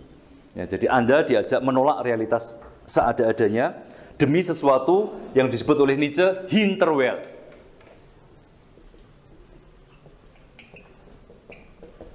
Dunia bayang-bayang dunia di seberang sana. Ya, jadi demi dunia di seberang sana lalu Anda mendiskreditkan apa pun yang Anda lihat di dunia ini. Ya, anda membelah realitas ini lalu kelompok saya adalah yang baik, berarti yang lain adalah buruk begitu Jadi penting untuk membedakan ini karena uh, Nietzsche akan bermain-main dengan ini untuk mengatakan bahwa dalam fenomen agama, satu sisi tentu ada yang namanya fenomen ada hal-hal baik ya dari agama. Kenaifan akan kebaikan begitu ya. Baik uh, dengan sangat naif gitu ya. Seperti ini. Tetapi ada juga fenomen yang mengerikan ya dari agama. Yang yang apa ya yang mengatur menjadi ideologi yang menghukum gitu ya. Ya membelah realitas gitu ya. Ini fenomena ini muncul dari uh, yang namanya Kristus. Demikian juga kalau Nietzsche berbicara mengenai orang Yahudi uh, ini yang kadang-kadang disalah tafsirkan bahwa Nietzsche adalah seorang anti-Semit karena kadang-kadang Nietzsche itu uh, kadang-kadang kritis terhadap Yahudi. Tetapi harus dipahami kalau Nietzsche berbicara mengenai Yahudi itu dia membedakan antara Yahudi pra pembuangan dan Yahudi pasca pembuangannya. Kira-kira uh, titik baliknya itu 580 sebelum Masehi. Jadi kita tahu bahwa bangsa Yahudi itu adalah bangsa yang uh, nomaden, lalu kemudian mulai menjadi kerajaan-kerajaan ya pada tahun 800-an ya, 900, 800, 700, 600 menjadi kerajaan. Tapi kemudian pada tahun 580 mereka akan diserang oleh bangsa Babilonia, dihancurkan ya. Uh, uh, apa namanya? Bait Allah Yahudi dihancurkan, diratakan dengan tanah. Bangsa Yahudi akan dibuang, ya, diambil, dibawa ke Babilonia. Jadi mereka diambil dari tanah mereka, dibawa ke Babilonia, dibuang. Lalu kemudian Nebukadnezar akan membebaskan mereka sekitar tahun saya lupa 350-an saya kira. Lalu mereka kembali ke tanah uh, Palestina dan bangsa yang kembali ini, Yahudi pasca pembuangan, menurut Nietzsche, berbeda dengan Yahudi sebelum pembuangan. Kalau Yahudi sebelum pembuangan adalah orang-orang yang merdeka, orang yang percaya diri, orang yang punya otonomi, independensi, sama seperti Yesus begitu ya. Maka orang-orang Yahudi pasca pembuangan adalah tipe budak. Tipe orang kalah. Tipe orang-orang yang butuh pegangan. Sama seperti Kristus ya. Ini adalah kelas kaum budak ya, dalam bahasa Nietzsche. Ini kelas kaum budak yang justru karena namanya juga budak ya, budak itu kan ngomongnya sederhana, simple begitu ya. Jadi ajaran-ajarannya gampang gitu ya. Justru karena mereka budak itulah mereka yang akan menguasai sejarah. Ya, jadi justru karena ajaran-ajarannya itu simple, siapa kawan, siapa lawan, ya. kalau benar adalah seperti ini, salah seperti ini, maka ajaran seperti itu gampang ditelan oleh masa yang banyak, dan itu makanya lalu misalnya seperti Kristianisme bisa meruntuhkan Imperium Romawi, lalu berkuasa, menguasai bukan hanya manusia, tapi juga pemikiran orang Eropa sampai zamannya Nietzsche. Jadi kalau saya berbicara mengenai budak, tentu saya berbicara dalam dalam kategori Nietzsche orang lemah, orang yang kehendaknya terserak-serak, yang dirinya terserak-serak. Tapi jangan lupa secara sosiologis, secara politis justru mereka itulah yang menang. Mereka yang membangun sejarah. Jadi itu satu catatan, catatan penting uh, untuk melihat bahwa Nietzsche dipengaruhi oleh riset-riset historis tentang Yesus. Uh, yang membedakan antara fakta Yesus historis dengan Kristus iman, uh, yang lalu dari situ uh, uh, secara tajam lalu misalnya sebagaimana penelitian-penelitian ini berkembang sampai abad 20, ini lalu misalnya mencoba mencari-cari sebetulnya Yesus historis itu yang betul-betul historis itu apanya begitu ya. Dan saking rumitnya begitu ya sehingga nanti akhirnya harus di voting misalnya dari kitab suci perjanjian baru itu ada empat Injil Matius, Markus, Lukas, Yohanes itu di voting ayat mana yang sebetulnya kurang lebih berasal dari mulutnya Yesus ayat mana yang sebetulnya ah ini kan tulisannya si Matius gitu ya ah ini kan warisan dari kelompok para rasul begitu ya jadi di stabilo stabilo warna-warna begitu lalu ahli-ahli ekseget akan voting gitu ya voting ini. Ayat ini apakah dari Yesus? Siapa setuju? Angkat tangan. Jadi sampai absurd seperti itu ya, karena penelitian historis memang akhirnya akan selalu berkelindan ya, selalu bercampur aduk dengan apa yang menjadi iman, karena toh sudah 20 abad ya ini berjalannya. Maka posisi-posisi teologi liberal saat ini, kalau Anda pernah mendengar nama Yohanes Rahmat, persis omongannya kayak gini. Ini dia ini wakilnya ini nih, teologi liberal yang mencoba ya Yesus historis, Yesus historis ya memisahkannya dengan iman ya. Lalu akhirnya ketika iman dia dia Yesus eh, Kristus iman dia singkirkan, Yesus historis nggak nggak ketemu, akhirnya jadi kadang-kadang nggak nemu apa-apa begitu ya. Jadi Anda sudah membuang Kristus iman karena Anda percaya pada Yesus historis. Lalu Anda cari-cari secara historis nggak ketemu juga ya. Karena memang ya gimana itu kan sudah 20 abad yang lalu bagaimana Anda bisa menemukan yang historis dari Yesus begitu ya. Sehingga akhirnya ketika ketemu semua Anda menjadi ya rada-rada seperti Yohanes Rahmat begitu ya. Akhirnya dia percaya pada sains. Bahwa yang namanya Tuhan itu harus saintifik, Tuhan itu harus rasional begitu ya. Suatu yang paradoksal juga untuk saya ya, karena kalau kita berkaca pada Nietzsche, ya kamu kembali ke sains juga artinya kamu percaya sama sains. Ya. Kamu masih butuh percaya begitu. Ya. Posisi uh, kurang lebih yang saya anut begitu ya, ya teologi liberal, teologi liberal, tapi juga nggak usah terlalu liberal lah, gitu ya. Gimana gimana yang namanya iman itu kan juga sesuatu yang irasional ya. Ada hal-hal yang irasional sudah terima saja lah, bagian dari sejarah ya. Asal kita juga nggak terlalu ideologis ya, uh, terlalu historis atau terlalu ideologis iman begitu ya. Tapi kita terbuka saja. Jadi ini akhirnya diterima oleh kelompok Katolik tahun 1950. Ya, jadi yang namanya historis kritis ya metode analisis terhadap kitab, kitab suci historis kritis itu Katolik pun sangat lambat menerimanya. Karena tidak mudah ya. Ini ini kalau anda menerima ini ya anda terjungkir balikkan banyak hal ya. Karena lalu anda ngerti bahwa ayat tertentu ups ini ternyata hanya konstruksi jemaat saja. Ups ternyata ini berasal dari abad sekian ups ternyata ini ya, jadi ada banyak hal akan dibersihkan ya dan itu tidak gampang ya kalau kita butuh butuh ketahanan mental untuk mendengarkan itu semua. Dia akan belajar teologi sebentar di Bonn setahun, kemudian dia akan uh, filologi dan di sini dia akan bertemu katakan Schopenhauer.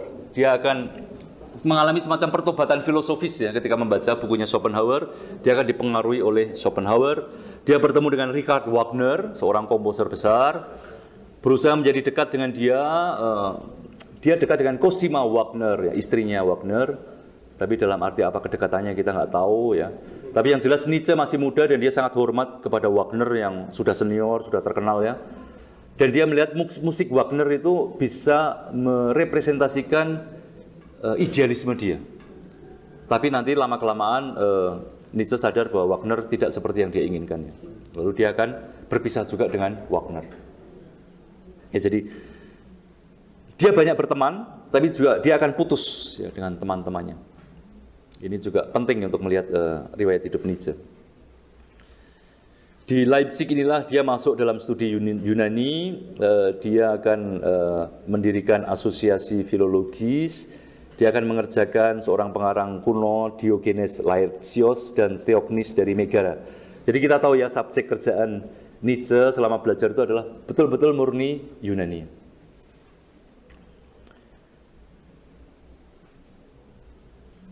Schopenhauer, dia akan kenal Schopenhauer, dia akan kenal Lange juga, seorang Marxis ya.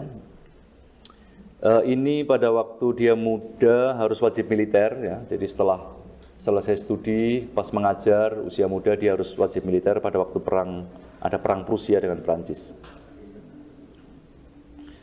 Jadi setelah uh, menyelesaikan disertasinya dan Nietzsche luar biasa, dia sudah diangkat menjadi profesor Fakultas Filologi di Basel sebelum dia menyelesaikan disertasinya. Ya, jadi disertasi belum selesai dia sudah dipanggil sama Universitas Basel untuk mengajar. Nah baru kemudian sambil mengajar dia menyelesaikan disertasinya lalu uh, dia lulus.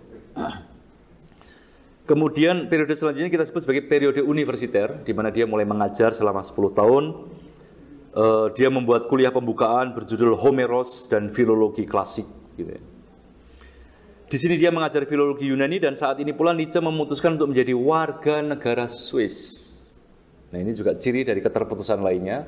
Dia orang Jerman, Nietzsche, tetapi orang yang sangat tidak suka dengan Jerman. Dia akan banyak mengolok-olok Jerman. Deutschland, Deutschland, über alles begitu ya. Itu bagi dia adalah ya kebodohan begitu ya.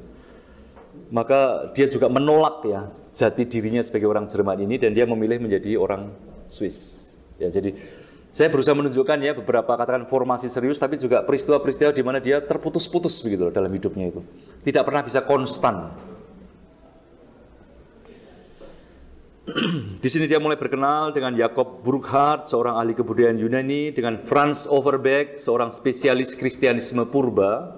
Ya, jadi Nietzsche lumayan banyak informasi ya mengenai uh, teologi, mengenai Kristianisme purba. Tentu posisi-posisinya kita boleh boleh tidak setuju Ya, karena sekali lagi itu adalah tafsir Nietzsche. Tetapi toh eh, kita perlu memahami dari mana dia memahami misalnya soal Yesus Kristus yang dia bedakan itu.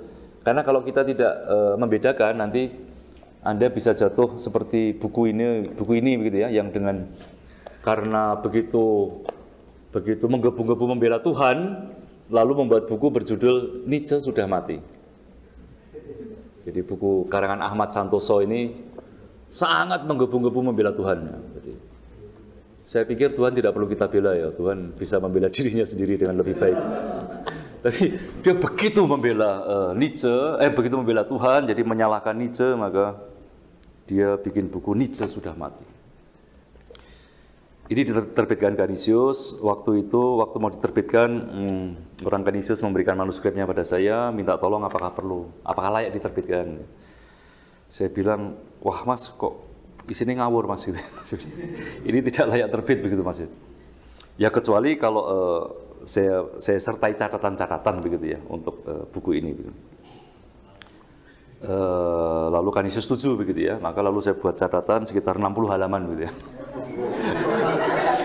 untuk memberikan, memberikan catatan serius ya bahwa semua yang Anda baca di bagian awal ini salah semua begitu karena ya ini karena dia tidak ngerti ya bahwa Nietzsche membedakan ya soal Yesus Kristus ya. Nietzsche itu orang yang subtil, dia filolog ya. Dia tajam ya dengan bahasa, dia hati-hati dengan bahasa. Maka apa yang dia tulis itu sangat terpilih ya dan maksudnya itu bisa kita ketahui. Nah, dia ini ya mungkin karena terburu-buru itu ya begitu bernafsunya membela Tuhan maka maka lalu ya dia tapi ya dia serius begitu ya, serius membaca Nietzsche, serius bacaannya banyak dan kalau Anda membaca ini uh, tanpa membaca catatan saya, Anda juga bisa percaya ya semua yang dikatakan di sini begitu. Ya. Tapi begitu nanti Anda baca baca catatan akhirnya lalu loh loh loh loh keliru semua begitu. Ya. Itu susahnya membaca Nietzsche. Uh, multitafsir, labirin, aforisme, penulis yang teliti ya. Uh, dan kita harus uh, uh, harus hati-hati. Paling tidak jangan terlalu cepat afirmatif ya. Bahwa Nietzsche begini, Nietzsche begitu ya. Uh, karena gaya gaya Nietzsche sendiri nggak begitu gitu ya. Gayanya menulis sendiri itu lebih bertanya, lebih memberikan sugesti, ya, lebih menawarkan, lebih mengajak berpikir begitu ya, dan tidak memberikan jawaban pasti. Nietzsche akan mengalami hidup universiter selama 10 tahun, mengajar, menulis buku, ya, Eh, berhubungan dengan Wagner. Beberapa tulisannya misalnya drama musikal Yunani Socrates Tragedi, visi Dionisia ke atas dunia, ya Dionysios. Lahirnya tragedi, buku yang uh, sangat uh, kontroversial karena dia memberi uh, jadi ini adalah filologi. Uh, Nietzsche sebagai profesor muda menulis analisis mengenai bagaimana tragedi muncul dan dia mengatakan itu adalah dari kultus Dionysos. Ya. Ini tentu adalah sebuah tesis yang sangat apa problematis ya karena bagi para filolog lainnya ya omongannya Nietzsche ini lebih filosofis daripada filologis. Terlalu intuitif. Ya. Kalau Anda filolog, ya Anda kan harus bekerja dengan teks ya, teks ya dan harus hati-hati dengan sejarah, dengan arkeologi segala macamnya. Dan tidak boleh terlalu berteori. Nah Nietzsche kebalikannya. Nietzsche itu memang bakatnya mungkin sejak awal adalah filsuf ya. Maka ketika dia menulis teks filologis pun intuisinya terlalu tinggi, terlalu besar sehingga nanti memang tulisan ini akan menjadi langsung kata perpisahan dengan filologi. Karena dia akan dikritik oleh masyarakat filologi. dikatakan bahwa ini ngawur tulisannya begini begitu. Dan saya kira sejak saat itu Nietzsche sadar bahwa panggilannya bukan filologi. Panggilannya adalah filsafat. Ada satu penulis besar, Ulrich von Wilamowitz Mollendorf, yang lebih muda dari Nietzsche, tapi lebih brilian, lebih pandai, yang akan menghabisi uh, teksnya Nietzsche ini.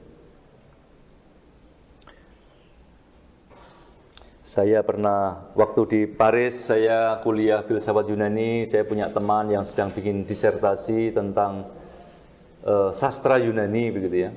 Dan dia mengerjakan tentang tragedi begitu. Lalu saya ungkapkan uh, tesisnya Nietzsche begitu ya bahwa tragedi itu kemungkinan lahirnya dari Dionysos kultus pada uh, dewa uh, kambing itu ya, ya yang uh, orang mengorbankan kambing untuk untuk uh, memuja Dionysos. Lalu dia marah-marah begitu Nietzsche jangan disebut gitu. Itu filsuf gitu. Omongan filsuf nggak bisa dipercaya begitu. Jadi dia pengennya kalau ngomong tragedi itu ya dengan fakta begitu ya, dengan teks ya, dengan arkeologi ya, jangan menduga-duga, jangan berteori ya, jangan jangan berhipotesis. Itu kan filsuf seperti itu. Jadi sampai sekarang pun eh, orang-orang dari sastra klasik Yunani apalagi dari filologi ya, kalau membaca Nietzsche memang mereka tersulut ya. Eh, tulisan-tulisan uh, lain yang uh, jadi Nietzsche menerbitkan banyak buku ya. Uh, saya sebutkan saja di sini misalnya tentang pertimbangan-pertimbangan uh, tidak aktual, David Strauss orang beriman dan penulis, kegunaan kerugian sejarah, Schopenhauer sang pendidik ya. Richard Wagner di Beirut ya. Tentang masa depan sekolah kita, filsafat zaman tragis Yunani, kebenaran dan kebohongan dalam makna ekstra moral ya. Jadi dia menulis banyak ya di luar apa-apa yang sering kita dengar genealogi moral, uh, Zarathustra, uh, apalagi uh, Twilight Twilight of Idols ya. Jadi dia menulis uh, banyak sekali. Ini saya tunjukkan foto dari adiknya uh, Nietzsche ya, Elizabeth Forster uh, Nietzsche. Tulisan tulisan lain yang terkenal itu adalah uh, Human to Human ya, manusiawi terlalu manusiawi. Uh, mens, menslichtes also menslichtes ya. Manusiawi terlalu manusiawi. Assorted opinions and maxims. Kemudian the aphoristic style was suited to many of the ideas and thoughts in the book ya. Jadi style tulisan Nietzsche adalah aphoristik aforisme sebagaimana saya katakan tadi dan ini berkaitan dengan it was also likely due to Nietzsche decline in health jadi ketika dia sakit ya, Anda pusing ya, eh, nggak bisa lihat matahari, Anda harus tidur begitu ya. Eh, bagaimana mungkin Anda bekerja di perpustakaan? Mencari rujukan begitu ya, meneliti, tidak mungkin ya. Nah, jadi Anda hanya bekerja ketika Anda sehat. Ya, ketika badan enak begitu ya, lalu ada ide ya sudah langsung tulis. Kalau dibuat pergi ke perpustakaan nanti keburu sakit lagi. Karena dengan serangan-serangan yang mendadak begitu, mau tidak mau mengakalinya ya lalu Nietzsche mempunyai banyak potongan-potongan kertas ya, dia ke mana-mana membawa potongan kertas ya. zaman itu kan belum ada tablet ya belum ada belum ada HP untuk nyatet ya jadi semua potongan kertas maka uh, dia sambil jalan kalau lagi enak begitu ya dia ada ide apa dia tulis dan nanti ya potongan-potongan kertas itu yang akan dia susun menjadi bahan untuk uh, buku Jadi demi kesehatannya seperti yang saya katakan tadi, Nietzsche harus mencari iklim yang ramah, yang ke utara, ke selatan, ya, supaya dia uh, merasa nyaman. Tulisan Nietzsche akan menunjukkan kecenderungannya yang bersifat fragmentaris, terpisah-pisah, dan bukan lagi sebuah traktat yang uh, sistematik. Pemikiran Nietzsche adalah pemikiran yang sambil berjalan. Maaf, ini Anda mau mau berdoa dulu? Stop berdoa. Baik, kita teruskan lagi. Jadi sedikit akan saya tunjukkan karya-karya Nietzsche ya. Jadi yang semakin fragmentaris, terpisah-pisah dan tidak sistematik gitu ya. Kehidupan pengembara jauh dari bibliotek universitas, sakit yang datang pergi tanpa bisa diramal, itu membuat Nietzsche terpaksa menulis sambil berjalan. Jadi karena kondisi kesehatannya seperti itu, pengalaman personal seperti itu, dia harus menulis sambil berjalan. Seorang pengembara. Dan itu juga memang mengidealkan ya uh, Eh, pengembara. Beberapa tulisannya yang lain adalah Fajar, Morgan Rothe, Lalu ini buku yang banyak saya pakai untuk uh, membuat gaya filsafat Nietzsche ya, Fröhlich Wissenschaft, uh, pengetahuan yang uh, mengasyikkan. Di mana Nietzsche mulai berubah style kalau semula dia suka gaya militeristik Wagner, lalu dia akan berubah lebih ke gaya Provençal, gaya troubadour, gaya seni, musik uh, Carmen ya yang opera tapi lebih nyeleneh, lebih enteng, lebih ringan begitu ya musiknya. Kalau Anda pernah dengar CD-CD-nya Sinten Remen ya. Orkes Sinten Remen, nah itulah gaya Provençal ya, gaya troubadour, gaya yang, nyeleneh gitu ya. Lagu-lagu serius dibuat jadi jadi desa, jadi ketawa begitu ya. Tapi serius ya, mereka juga tetap pemusik-pemusik serius ya. Kemudian uh, tentu saja uh, di buku uh, kenapa saya menggunakan buku itu gaya siensa karena di buku inilah tema-tema terpenting Nietzschean seperti Zarathustra, kematian Tuhan, Ubermensch, will to power, ke kekembalian yang sama secara abadi sudah mulai dieksplorasi. Uh, Oke, okay, terus kemudian bukunya yang terkenal lainnya adalah uh, Zarathustra also sprach Zarathustra, ein Buch für alle und keinen. Das Buch Zarathustra, a book for all and nobody. Ya, jadi sebuah buku untuk semua, uh, tapi juga untuk bukan untuk siapa pun gitu ya. Puisi, salah satu buku yang sulit ya, uh, dalam lima buku kalau tidak salah, puisi uh, di mana uh, uh, Nietzsche uh, membayangkan dirinya sebagai Zarathustra yang memberikan warta mengenai era baru ya, di mana tidak ada Tuhan ya. kadang kadang-kadang ini juga disalahpahami seolah-olah Nietzsche adalah pemuja Zoroaster. Ya, ini juga tidak ada hubungannya dengan Zoroaster begitu ya. Nietzsche, Nietzsche, Nietzsche bukanlah pem, pemuja Zoroaster begitu ya. Ya dia pakai aja nama begitu ya Zoroaster karena kalau tidak salah Zoroaster ini kan uh, nabi tanda kutip gitu ya dari Persia yang mulai berbicara mengenai semacam asal-usul dunia, lalu mulai berbicara mengenai pertarungan kebaikan melawan kejahatan. Ya. Orang pertama yang mengawali dalam peradaban kita seolah-olah ada pertarungan metafisis antara kebaikan dan kejahatan. Ya. Dan kita tahu Nietzsche posisinya seperti buku yang dia tulis, posisinya adalah beyond good and evil. Ya. Posisi moral Nietzsche adalah sebuah moral yang beyond, ya, beyond good and evil. Artinya melampaui kebaikan dan kejahatan, melampaui sebagaimana apa yang dalam moral sehari-hari bagi kita, ya, itu menjadi struktur hidup manusia yaitu kebaikan dan kejahatan, kebaikan dan keburukan. Dan Nietzsche akan melampaui ini.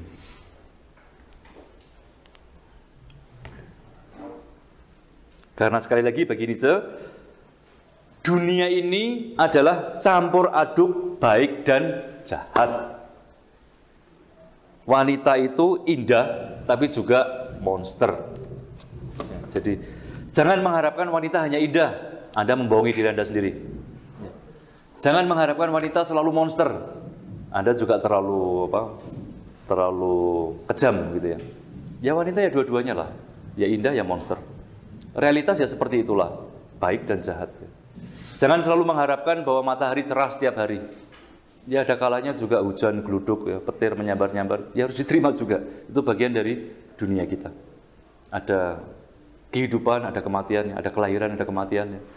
Ada yang buruk, ada yang jahat. Semua terjadi dan bagi Nietzsche itu harus diterima apa adanya. Itu makanya dia mengatakan moral seorang Ubermensch adalah moral yang mengatasi, melampaui sebagaimana umumnya sejak zaman Zoroaster kita diberitahu untuk apa itu baik, apa itu jahat.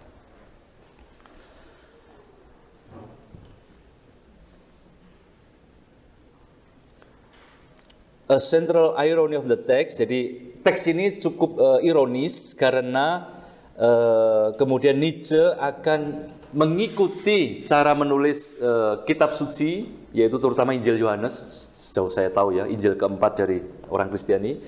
Dan uh, eh, namun akan dibalik begitu ya. Jadi pewartaan yang dibawa oleh Zarathustra ini eh, bukan lagi istilahnya bukan lagi Injil. Injil itu kan dari kata Yunani eu angelion ya. Evangel ya. Eh, bahasa Inggris juga evang, evangel ya. Evangelion eh, Bible ya. Kalau Bible itu biblion ya. Bible itu dari kata biblion. Kita punya biblioteka ya, bibliotek artinya tempat menyimpan buku-buku. Kalau Injil itu dari kata Yunani-nya Evangelion, dalam bahasa Prancis menjadi Evangel. Evangel ya. Eh, artinya kabar baik. Eu itu baik, Angelion adalah kabar warta. Maka Nietzsche dengan Saratustranya akan membawa yang namanya dis Angelion. Ya, jadi bukan eu tapi dis Angelion. Artinya tentu saja warta yang buruk. Warta yang tidak baik. Jadi kalau Injil itu artinya kabar baik, maka Nietzsche membawa, membawa kabar buruk. Gitu. Jadi dia dengan sengaja membolak-balikan begitu untuk uh, membuat orang sadar bahwa yang dia maksud adalah sebuah moralitas yang beyond good and evil karena realitas ini adalah campur aduk dari kebaikan dan kejahatan dan semua kedua-duanya harus diterima apa adanya. Nah, sedikit hal kecil yang juga ingin saya sampaikan di sini adalah pernikahan adik perempuan Nietzsche Elizabeth dengan Dr. Bernhard Foster yang seorang antisemit pengikut ide-ide Hitler ya. Saya tunjukkan uh, gambar-gambarnya nanti. Jadi setelah menikah, Elizabeth dengan Bernhard Forster akan pergi ke Paraguay karena mereka hendak mendirikan yang namanya koloni Germania, ya, koloni Arya, bangsa Arya. Sebuah proyek yang gagal dan kemudian nanti Bernhard Fosternya akan bunuh diri. Maka kemudian uh, Elizabeth terpaksa pulang sendirian ke Jerman lalu nanti kebetulan adiknya pas sakit, eh, kakaknya pas sakit lalu dia akan merawat uh, Nietzsche. Ini uh, Bernhard Foster, ini adiknya Nietzsche, Elizabeth. Ini koloni di Paraguay ketika mereka berusaha membuat uh, koloni bangsa Arya di Paraguay. Nietzsche, Sister and the Will to Power. Ini gambar-gambarnya. Ini uh, bagaimana Nietzsche dinatsikan ya. Dan saya kira saya, sampai sekarang masih banyak orang yang berbicara bahwa Nietzsche adalah fasis, Nietzsche adalah Nazi.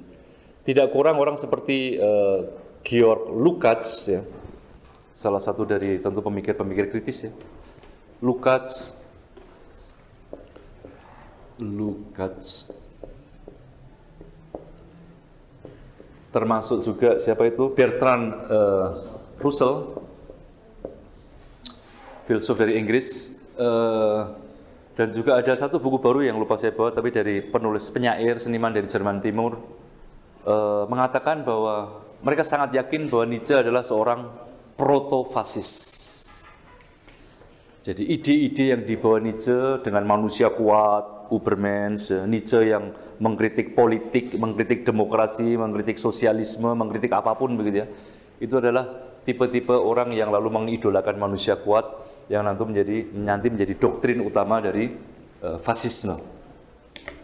Saya tentu tidak akan mengikuti eh, tafsir-tafsir uh, yang seperti itu.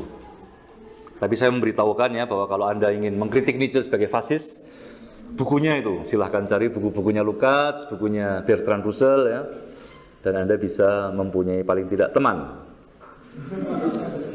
Ini uh, gambar ketika uh, Elizabeth Forster meninggal. Kita tahu betapa dia berpengaruh waktu itu ya, karena dia sudah menyambut Hitler segala. Maka pas saat pemakaman pun Hitler datang ya, untuk pemakamannya Elizabeth Forster Nietzsche ini dengan pawai-pawai seperti ini ya.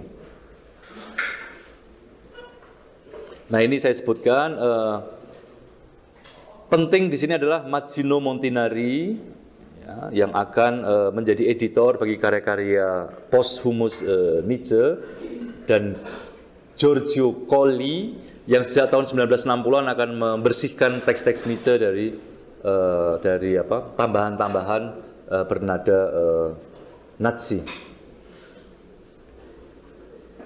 Ya, jadi saya katakan di sini demi menjaga atau membangun citra tertentu tentang Nietzsche maka Elizabeth akan melakukan pemotongan-pemotongan, bahkan kadang penambahan terhadap teksnya Nietzsche. Jadi hal-hal yang kelihatan terlalu uh, jelek, terlalu bagaimana akan dibuang oleh Elizabeth dan bahkan dia tambahi supaya image tertentu tentang Nietzsche itu uh, cocok dengan kebutuhan ideologi saat itu yaitu ideologi Nazi. Ini Elizabeth yang menguasai arsip Nietzsche. Jadi Nietzsche kan menulis banyak buku dan catatan-catatan tangannya itu kan banyak sekali. Nah itu yang kemudian dikumpulkan, dijadikan arsip dan uh, diterbitkan oleh uh, Elizabeth ini. Ini uh, Nietzsche Archive, ya, jadi tempat menyimpan uh, teks-teks Nietzsche. Ada patungnya.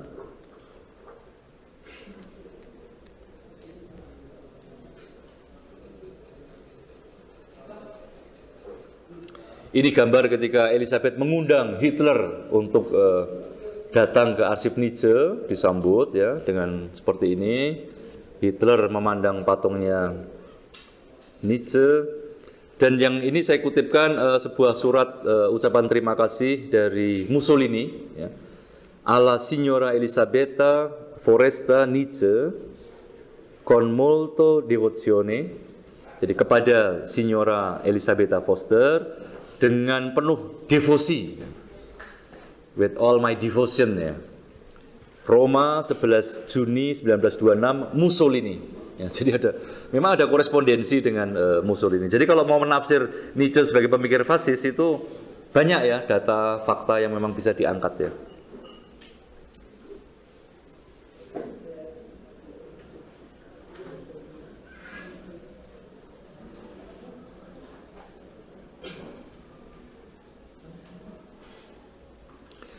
Jadi Bertrand Russell 1952 dan filsuf kritis Georg Lukács masih melihat pemikiran Nietzsche sebagai pendasar irasionalisme modern. Jadi Nietzsche adalah seorang proto-fasis yang menggagas pemikiran bercorak elitis, aristokratis, irasional. Namun kita juga tahu bahwa tentu saja ini adalah pendapat dari kelompok orang tertentu saja. Tapi orang lain seperti Adorno, Horkheimer, uh, tentu saja jauh sebelumnya Heidegger, ya, lalu Deleuze, ya, uh, juga uh, saya kira uh, pemikir Prancis Klosowski, uh, Albert Camus, uh, saya kira juga Derrida termasuk ya, akan membaca uh, Nietzsche secara sama sekali lainnya, bukan secara protofasis. Uh. Nah, ini adalah uh, kisah lain dengan Lu Andre, Andrea Salome, perempuan yang uh, muda, gadis Rusia muda yang dikenalkan pada Nietzsche dan Nietzsche uh, jatuh hati begitu ya. Dua kali dia melamar tetapi dua kali pula dia ditolak. Lu Andre Salome ini fotonya, jadi memang lumayan indah begitu ya. Bisa dipahami kalau Nietzsche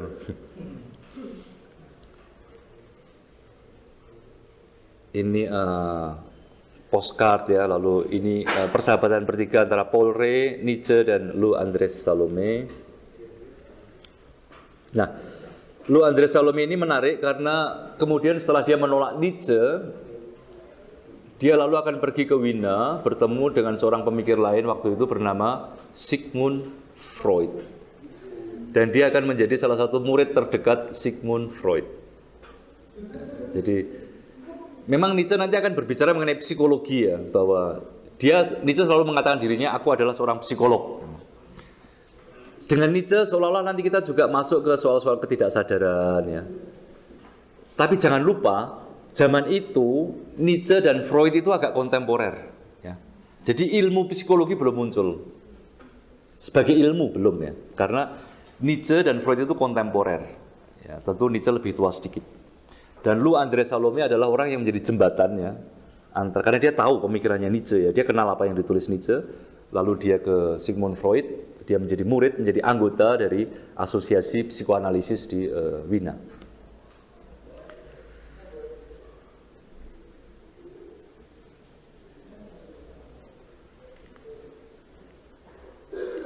Nah, uh, ini salah satu foto dari asosiasi uh, psikoanalisis di uh, uh, dengan uh, Psychoanalytic Society dengan uh, Sigmund Freud dan ada satu komentar dari Lu Andre Salome yang cukup tidak enak tentang Nietzsche begitu ya. Jadi Lu menulis to the degree that cruel people are always masochists, the whole thing has to do with a specific bisexuality.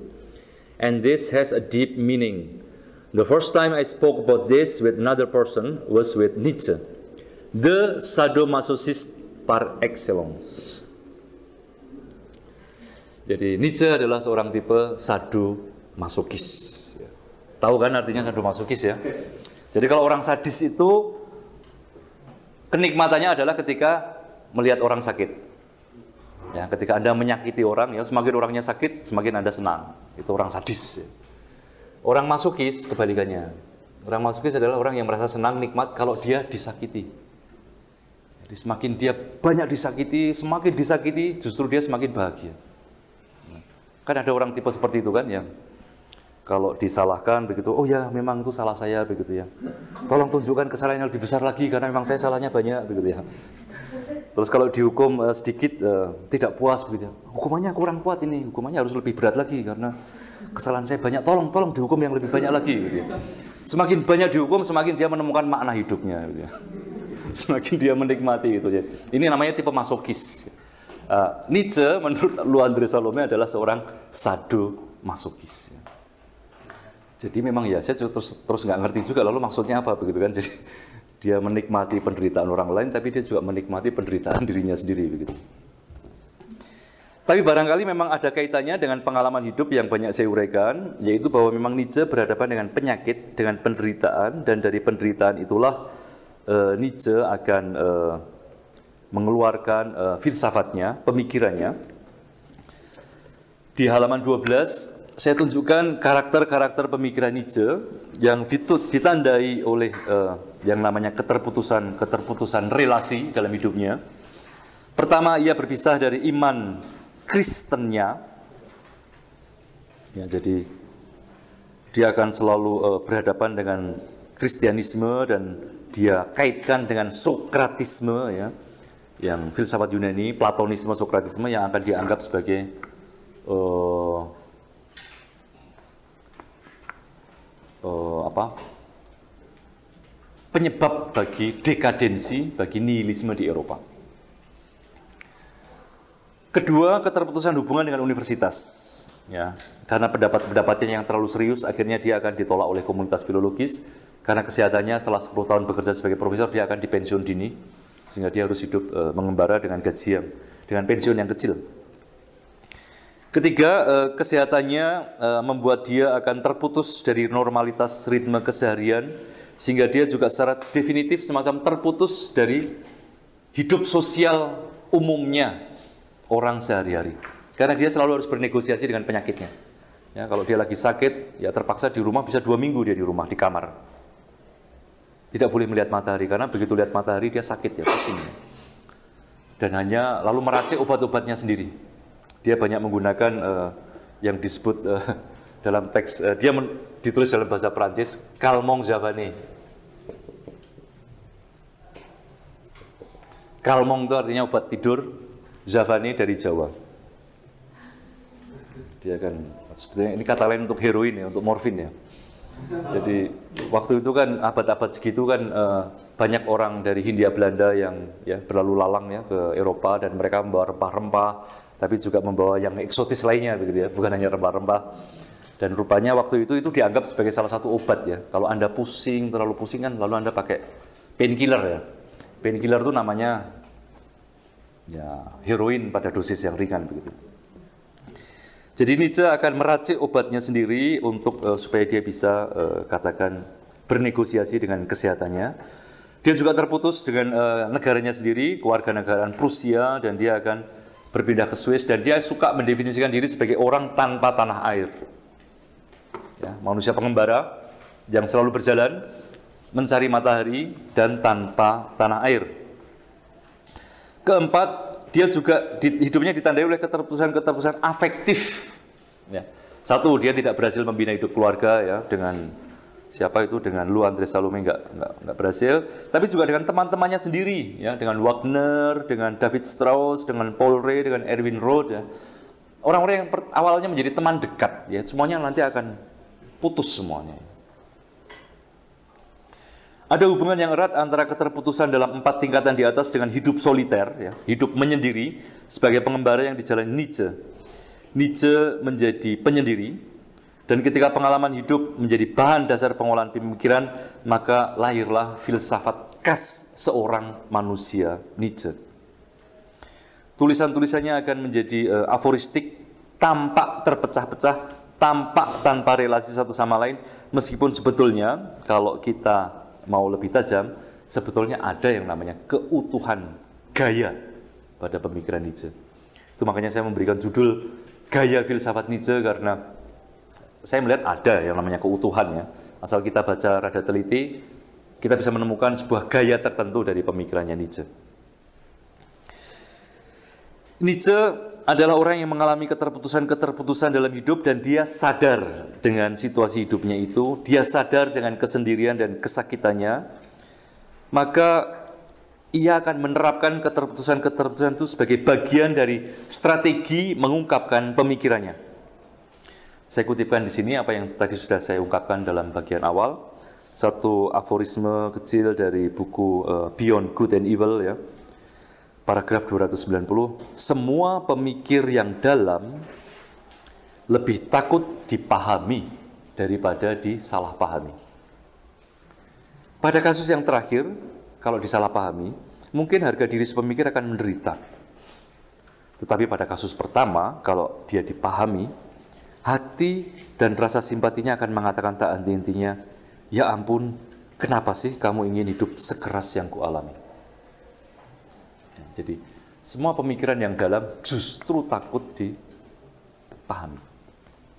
Kalau Anda pernah menemukan sebuah pemikiran yang dalam, ya, hasil pergulatan, hasil pengalaman hidup, hasil penderitaan yang luar biasa, begitu ya, lalu Anda ungkapkan dalam tulisan, karena mengungkapkannya tentu kan Anda tidak bisa berbicara apa adanya ya, harus dibungkus ya, dibungkus dengan namanya yang topeng ya, saya bilang, Nietzsche adalah filsuf topeng, pandai bermain dengan topeng, untuk membungkus uh, kedalaman yang dialami. Kalau Anda pernah mengalami pengalaman yang dalam begitu, lalu Anda menyampaikan dalam sebuah tulisan yang berbentuk uh, topeng begitu ya, untuk menyamarkannya, lalu Anda ketemu ada orang yang, Pak, Bu, saya tahu apa yang Bapak Ibu maksud. Ya tentu, lalu kita, kalau memang itu pengalaman mendalam ya, tentu kita jadi sedih. Ternyata yang menderita bukan hanya saya. Ternyata banyak orang menderita sekeras yang saya alami begitu. Jadi itulah uh, seorang penyendiri yang bergelut dengan dirinya sendiri secara paradoksal justru tidak memberi harga murah bagi komunikasi dengan orang lain. Saya kira ini juga hal yang uh, kalau kita punya sesuatu yang mendalam ya, uh, kita cenderung tidak mau mengkomunikasikannya ya. Ya lain dengan kebiasaan sekarang dengan Facebook, Twitter ya di mana kita mudah-ludal privasi kita sendiri begitu ya. Maksudnya mengeluarkan semua yang menjadi privasi kita. Tapi sekalipun begitu, coba Anda refleksikan kalau Anda punya sebuah pengalaman yang mendalam. Entah itu yang namanya trauma, entah itu yang namanya penderitaan, entah itu sesuatu yang memalukan. Pasti Anda berusaha menjaganya untuk diri Anda sendiri. Ya. Ya, Anda berusaha menutupinya dengan macam-macam hal, tapi yang ini jangan sampai keluar, gitu ya.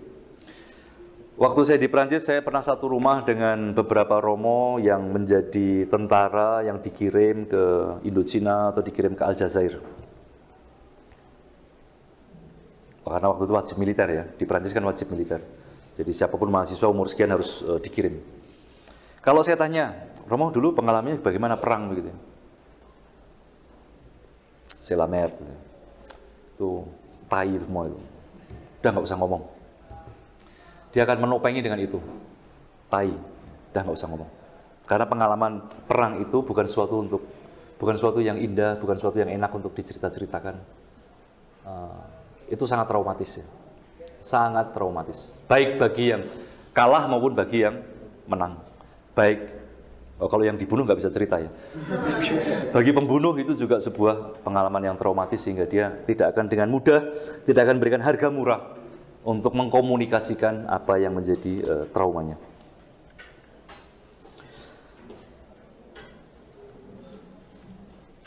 Penyendiri yang tidak sadar penyendiri yang tidak mengolah apa yang dialami tidak akan mempunyai ungkapan-ungkapan seperti yang dibuat oleh Nietzsche. Nietzsche lalu menemukan cara khasnya, halaman 14, untuk mengungkapkan pemikiran dan dirinya. Tulisannya seperti labirin, menyelubungi diri, susah ditebak begitu saja. Nietzsche tidak mau dipahami secara gampangan, dia mengajak setiap pembacanya untuk menjadi dirinya sendiri. Saya bacakan teks di halaman 14 itu ya. Pada tulisan seorang yang soliter, kita selalu mengamati adanya semacam gema padang pasir. Sesuatu yang mengingatkan kita pada keluhan dan gamangan liar yang muncul dari kesendirian. Bahkan kata-katanya yang paling keras, teriak ceritanya, terdengar lagi secara bayu, secara baru, secara lebih berbahaya untuk menutup mulut dan membungkam kata-kata. Teriakan-teriakannya akan keluar untuk menutup mulut dan membungkam kata-kata. Dia yang selama bertahun-tahun siang maupun malam secara terus-menerus berdebat secara intim dengan jiwanya sendiri. Di dalam guanya yang bisa jadi merupakan labirin, tapi bisa juga tempat harta karun. Dia menjadi beruang penjaga gua dan pemburu harta karun atau seekor naga penjaga harta karun. Orang itu akan melihat bahwa ide-idenya pun mulai berwarna senja, beraroma jurang dan jamur, menjadi sesuatu yang tidak bisa dikomunikasikan, membosankan, dan akan segera membuat beku siapa saja yang ada dalam jangkauannya. Si soliter percaya bahwa tak satu filsuf pun pernah mengungkapkan benar-benar dalam buku-buku mereka opini mereka yang sesungguhnya. Bukankah buku-buku memang ditulis justru untuk menyamarkan apa yang disembunyikan? Si soliter bahkan juga meragukan apakah seorang filsuf bisa memiliki opini yang sebenarnya dan yang ultim. Dia bertanya-tanya, jangan-jangan di balik gua tersebut akan terbuka dan harus terbuka gua lain yang lebih dalam. Sebuah dunia yang lebih luas, lebih asing, dan lebih kaya terbentang di bawah permukaan. Jangan-jangan sebuah bawah tanah selalu ada di bawah setiap dasar, pada tiap dasar pemikiran. Seluruh filsafat adalah filsafat permukaan. Itulah penilaian si soliter. Ada sesuatu yang sewenang-wenang dalam filsafat, Hal itu bisa dirasakan dari kenyataan bahwa yang satu berhenti di sini untuk menengok balik ke belakang dan sekitarnya, berhenti menggali di sini dan menaruh linggisnya, dia menjadi curiga, seluruh filsafatnya menyamarkan filsafat lainnya. Semua opini adalah tempat persembunyian, semua kata adalah topeng.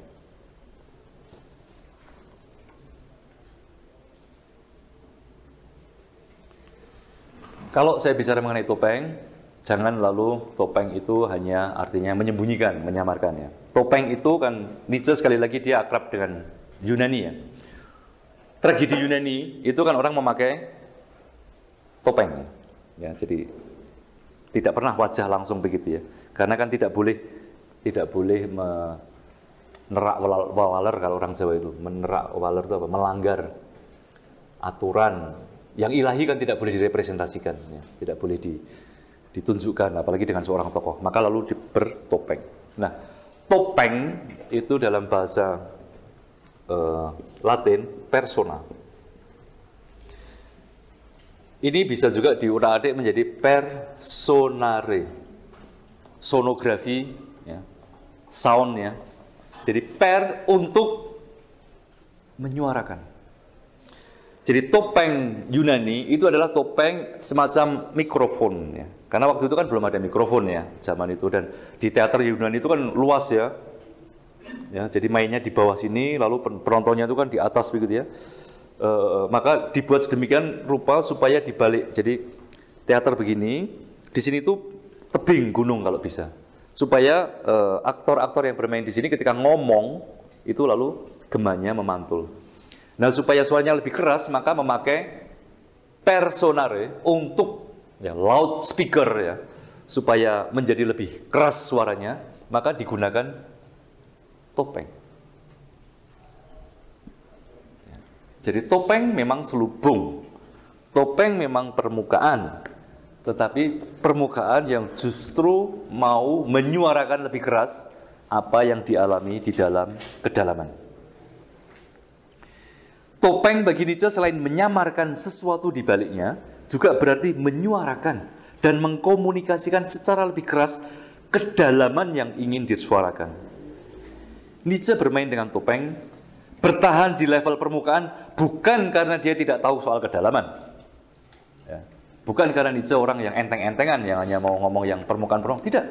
Dia bermain dengan kata, bermain dengan topeng justru karena dia punya sesuatu yang dalam yang mau dia komunikasikan.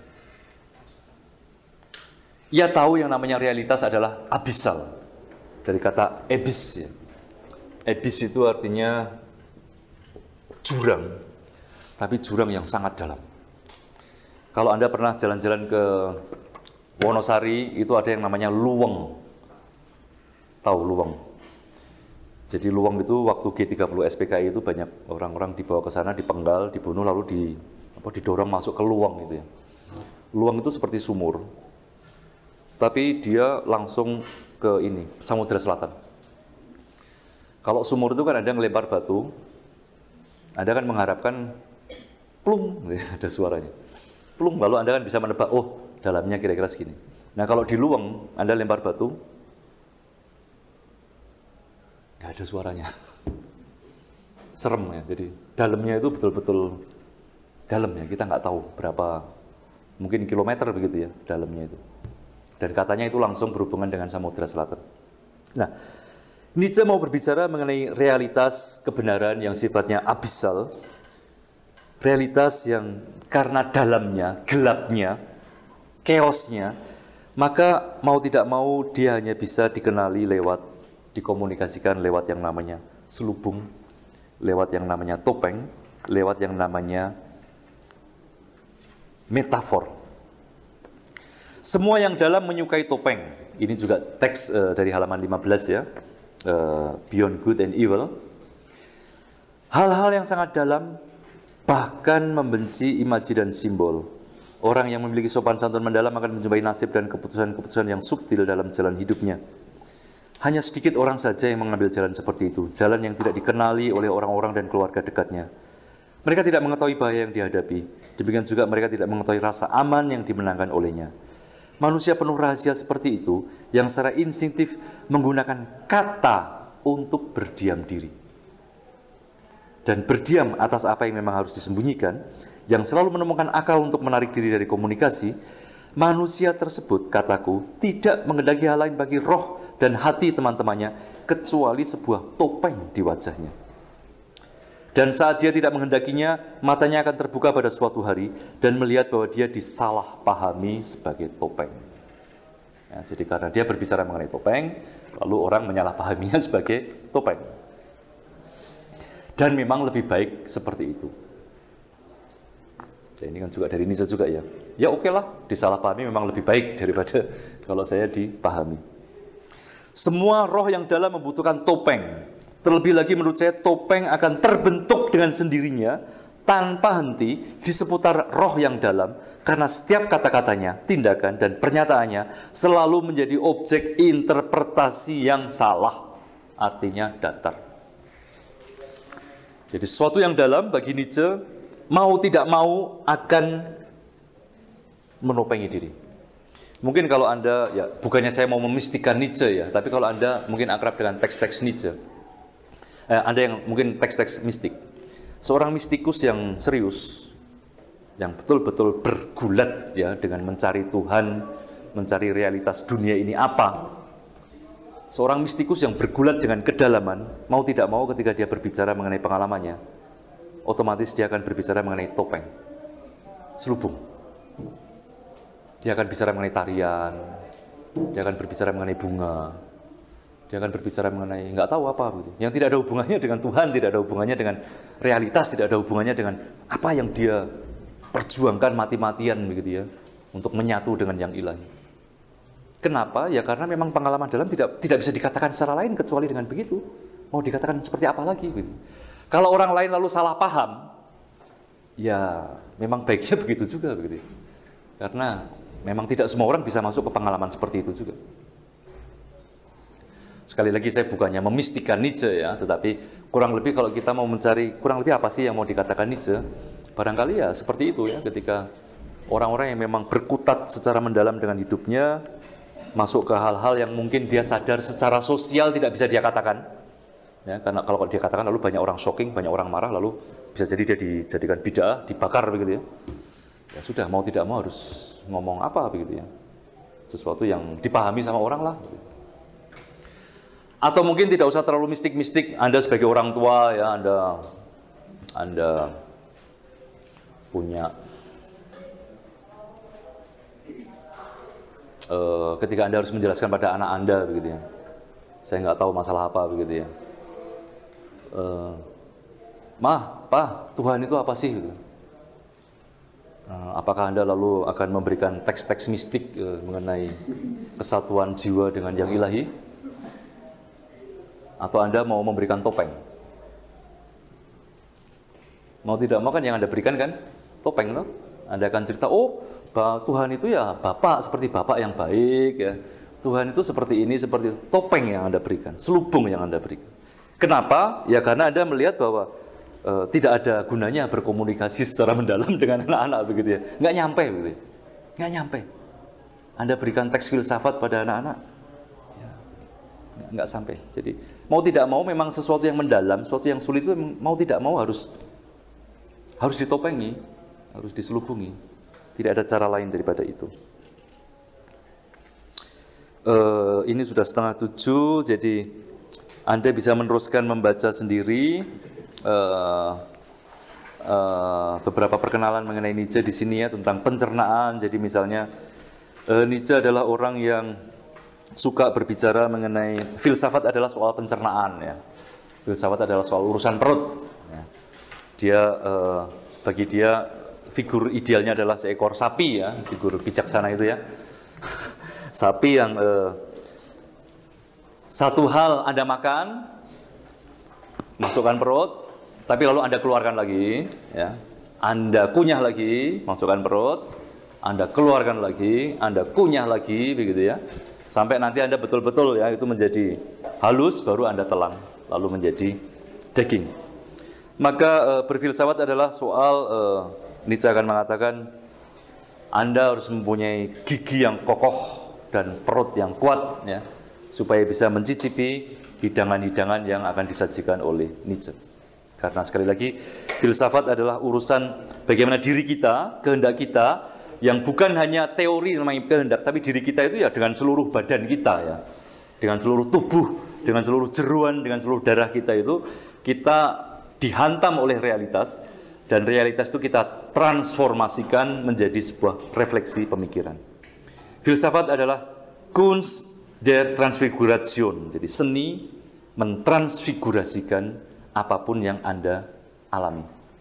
Transfigurasi, jadi artinya trans ya, Anda pernah punya kata transmigrasi ya. Transfigurasi, jadi Anda harus ya, mampu memberikan figur bentuk-bentuk yang lain. Ya. Kalau Anda mengalami pengalaman sakit, pengalaman apa ya, ya ungkapkanlah dalam bentuk apa. Mungkin Anda lalu nyeni ya, Anda membuat lukisan ya untuk mengungkapkan penderitaan Anda. Mungkin Anda lalu bikin lagu ya, lagu yang melankolis begitu ya untuk menyatakan menyatakan situasi Anda sebagai ya orang yang terlunta-lunta di ibu kota begitu ya. Jadi Itulah yang namanya uh, filsafat, seni memberikan figur-figur yang lebih bergaya, figur-figur yang lebih utuh, dan bukan hanya membiarkan diri hancur oleh realitas. Begitu, apakah uh, ada pertanyaan? Jadi saya beri kesempatan kalau masih ada yang ingin bertanya. Kalau tidak ada, ada? Satu, dua, satu, dua. Silakan. Romo kalau tadi mengatakan bahwa uh, Nietzsche itu mengatakan dunia nihil terus semuanya kosong dan kehancuran-kehancuran artinya terfragmentasi lalu uh, Nietzsche mengatakan bahwa manusia renaissance yang meng mengatasluhurkan rasio itu artinya adalah orang yang percaya juga apakah Nietzsche adalah salah satu bibit menuju uh, postmodernisme Ya, tentu saja. Jadi saya kira banyak pengarang postmodern, uh, orang seperti Foucault, Derrida, akan uh, banyak mengambil kritik kebenaran, kritik Nietzsche atas kebenaran ya. Jadi tidak ada lagi yang namanya kebenaran karena kebenaran menjadi ide fix ya, sesuatu yang dipegang, diutuhkan, difikskan. tentu itu lalu uh, menjadikan uh, orang seperti Foucault bilang tidak ada kebenaran atau Derrida mengatakan uh, yang ada hanyalah permainan tafsir ya, teks ya, tanpa henti ya, karena tidak pernah ada landasan satu. Jadi tentu uh, Nietzsche dan Heidegger, saya kira dari segi metafisisnya Heidegger menjadi pendasar kokoh untuk postmodernisme. Hanya tentu saja lalu saya tidak akan mengatakan bahwa apakah Nietzsche seperti yang dikatakan kaum postmodern. Itu soal lain. Ya, bahwa orang menafsir Nietzsche seperti itu, ya belum tentu juga Nietzsche seperti ini. Gitu. Jadi saya selalu mengatakan bahwa orang seperti Derrida itu menafsir Nietzsche secara hiper Nietzschean. Jadi Nietzsche ditafsir lebih ekstrim daripada Nietzsche sendiri. Begitu ya. Karena bagi Nietzsche yang namanya kebenaran masih ada. Yang namanya wanita masih ada. Yang namanya realitas masih ada. Itu tidak ditolak. Kebenaran ada. Hanya bagaimana? Bukan yang seperti ini. Begitu ya. Nah, itu nanti kita akan masuk ke situ. Satu lagi. Ya, apa? Uh, sama Nietzsche itu kan membagikan uh, Apollonian dan Dionysian. Ya. Kalau setahu saya Dionysius itu adalah uh, dewa anggun, Ya. dewa Mabuk. mabuk gitu ya.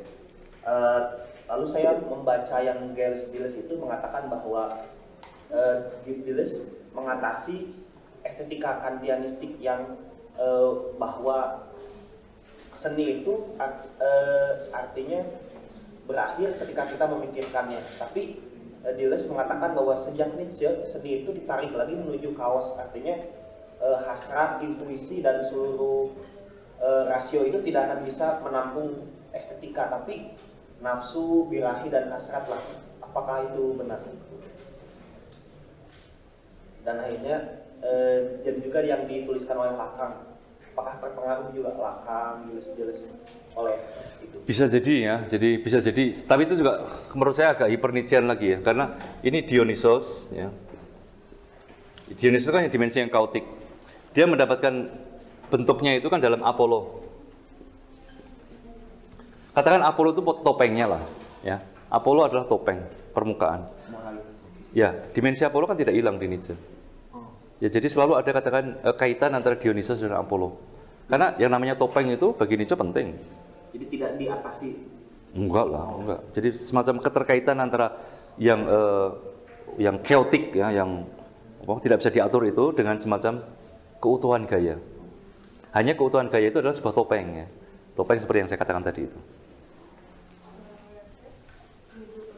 Ya. pertama sebenarnya ini mau pertanyaan menurut saya sering mikir gini sih Hmm, saya nggak terlalu suka sebenarnya kalau ada yang menjelek-jelekan sih soalnya saya pikir tapi kalau menurutkan saya ya kalau saya pemikiran saya salah saya pikir mungkin sebenarnya dia itu lebih eh, lebih jauh lebih memikirkan Tuhan ketimbang orang-orang yang mengaku bertuhan gitu Hmm.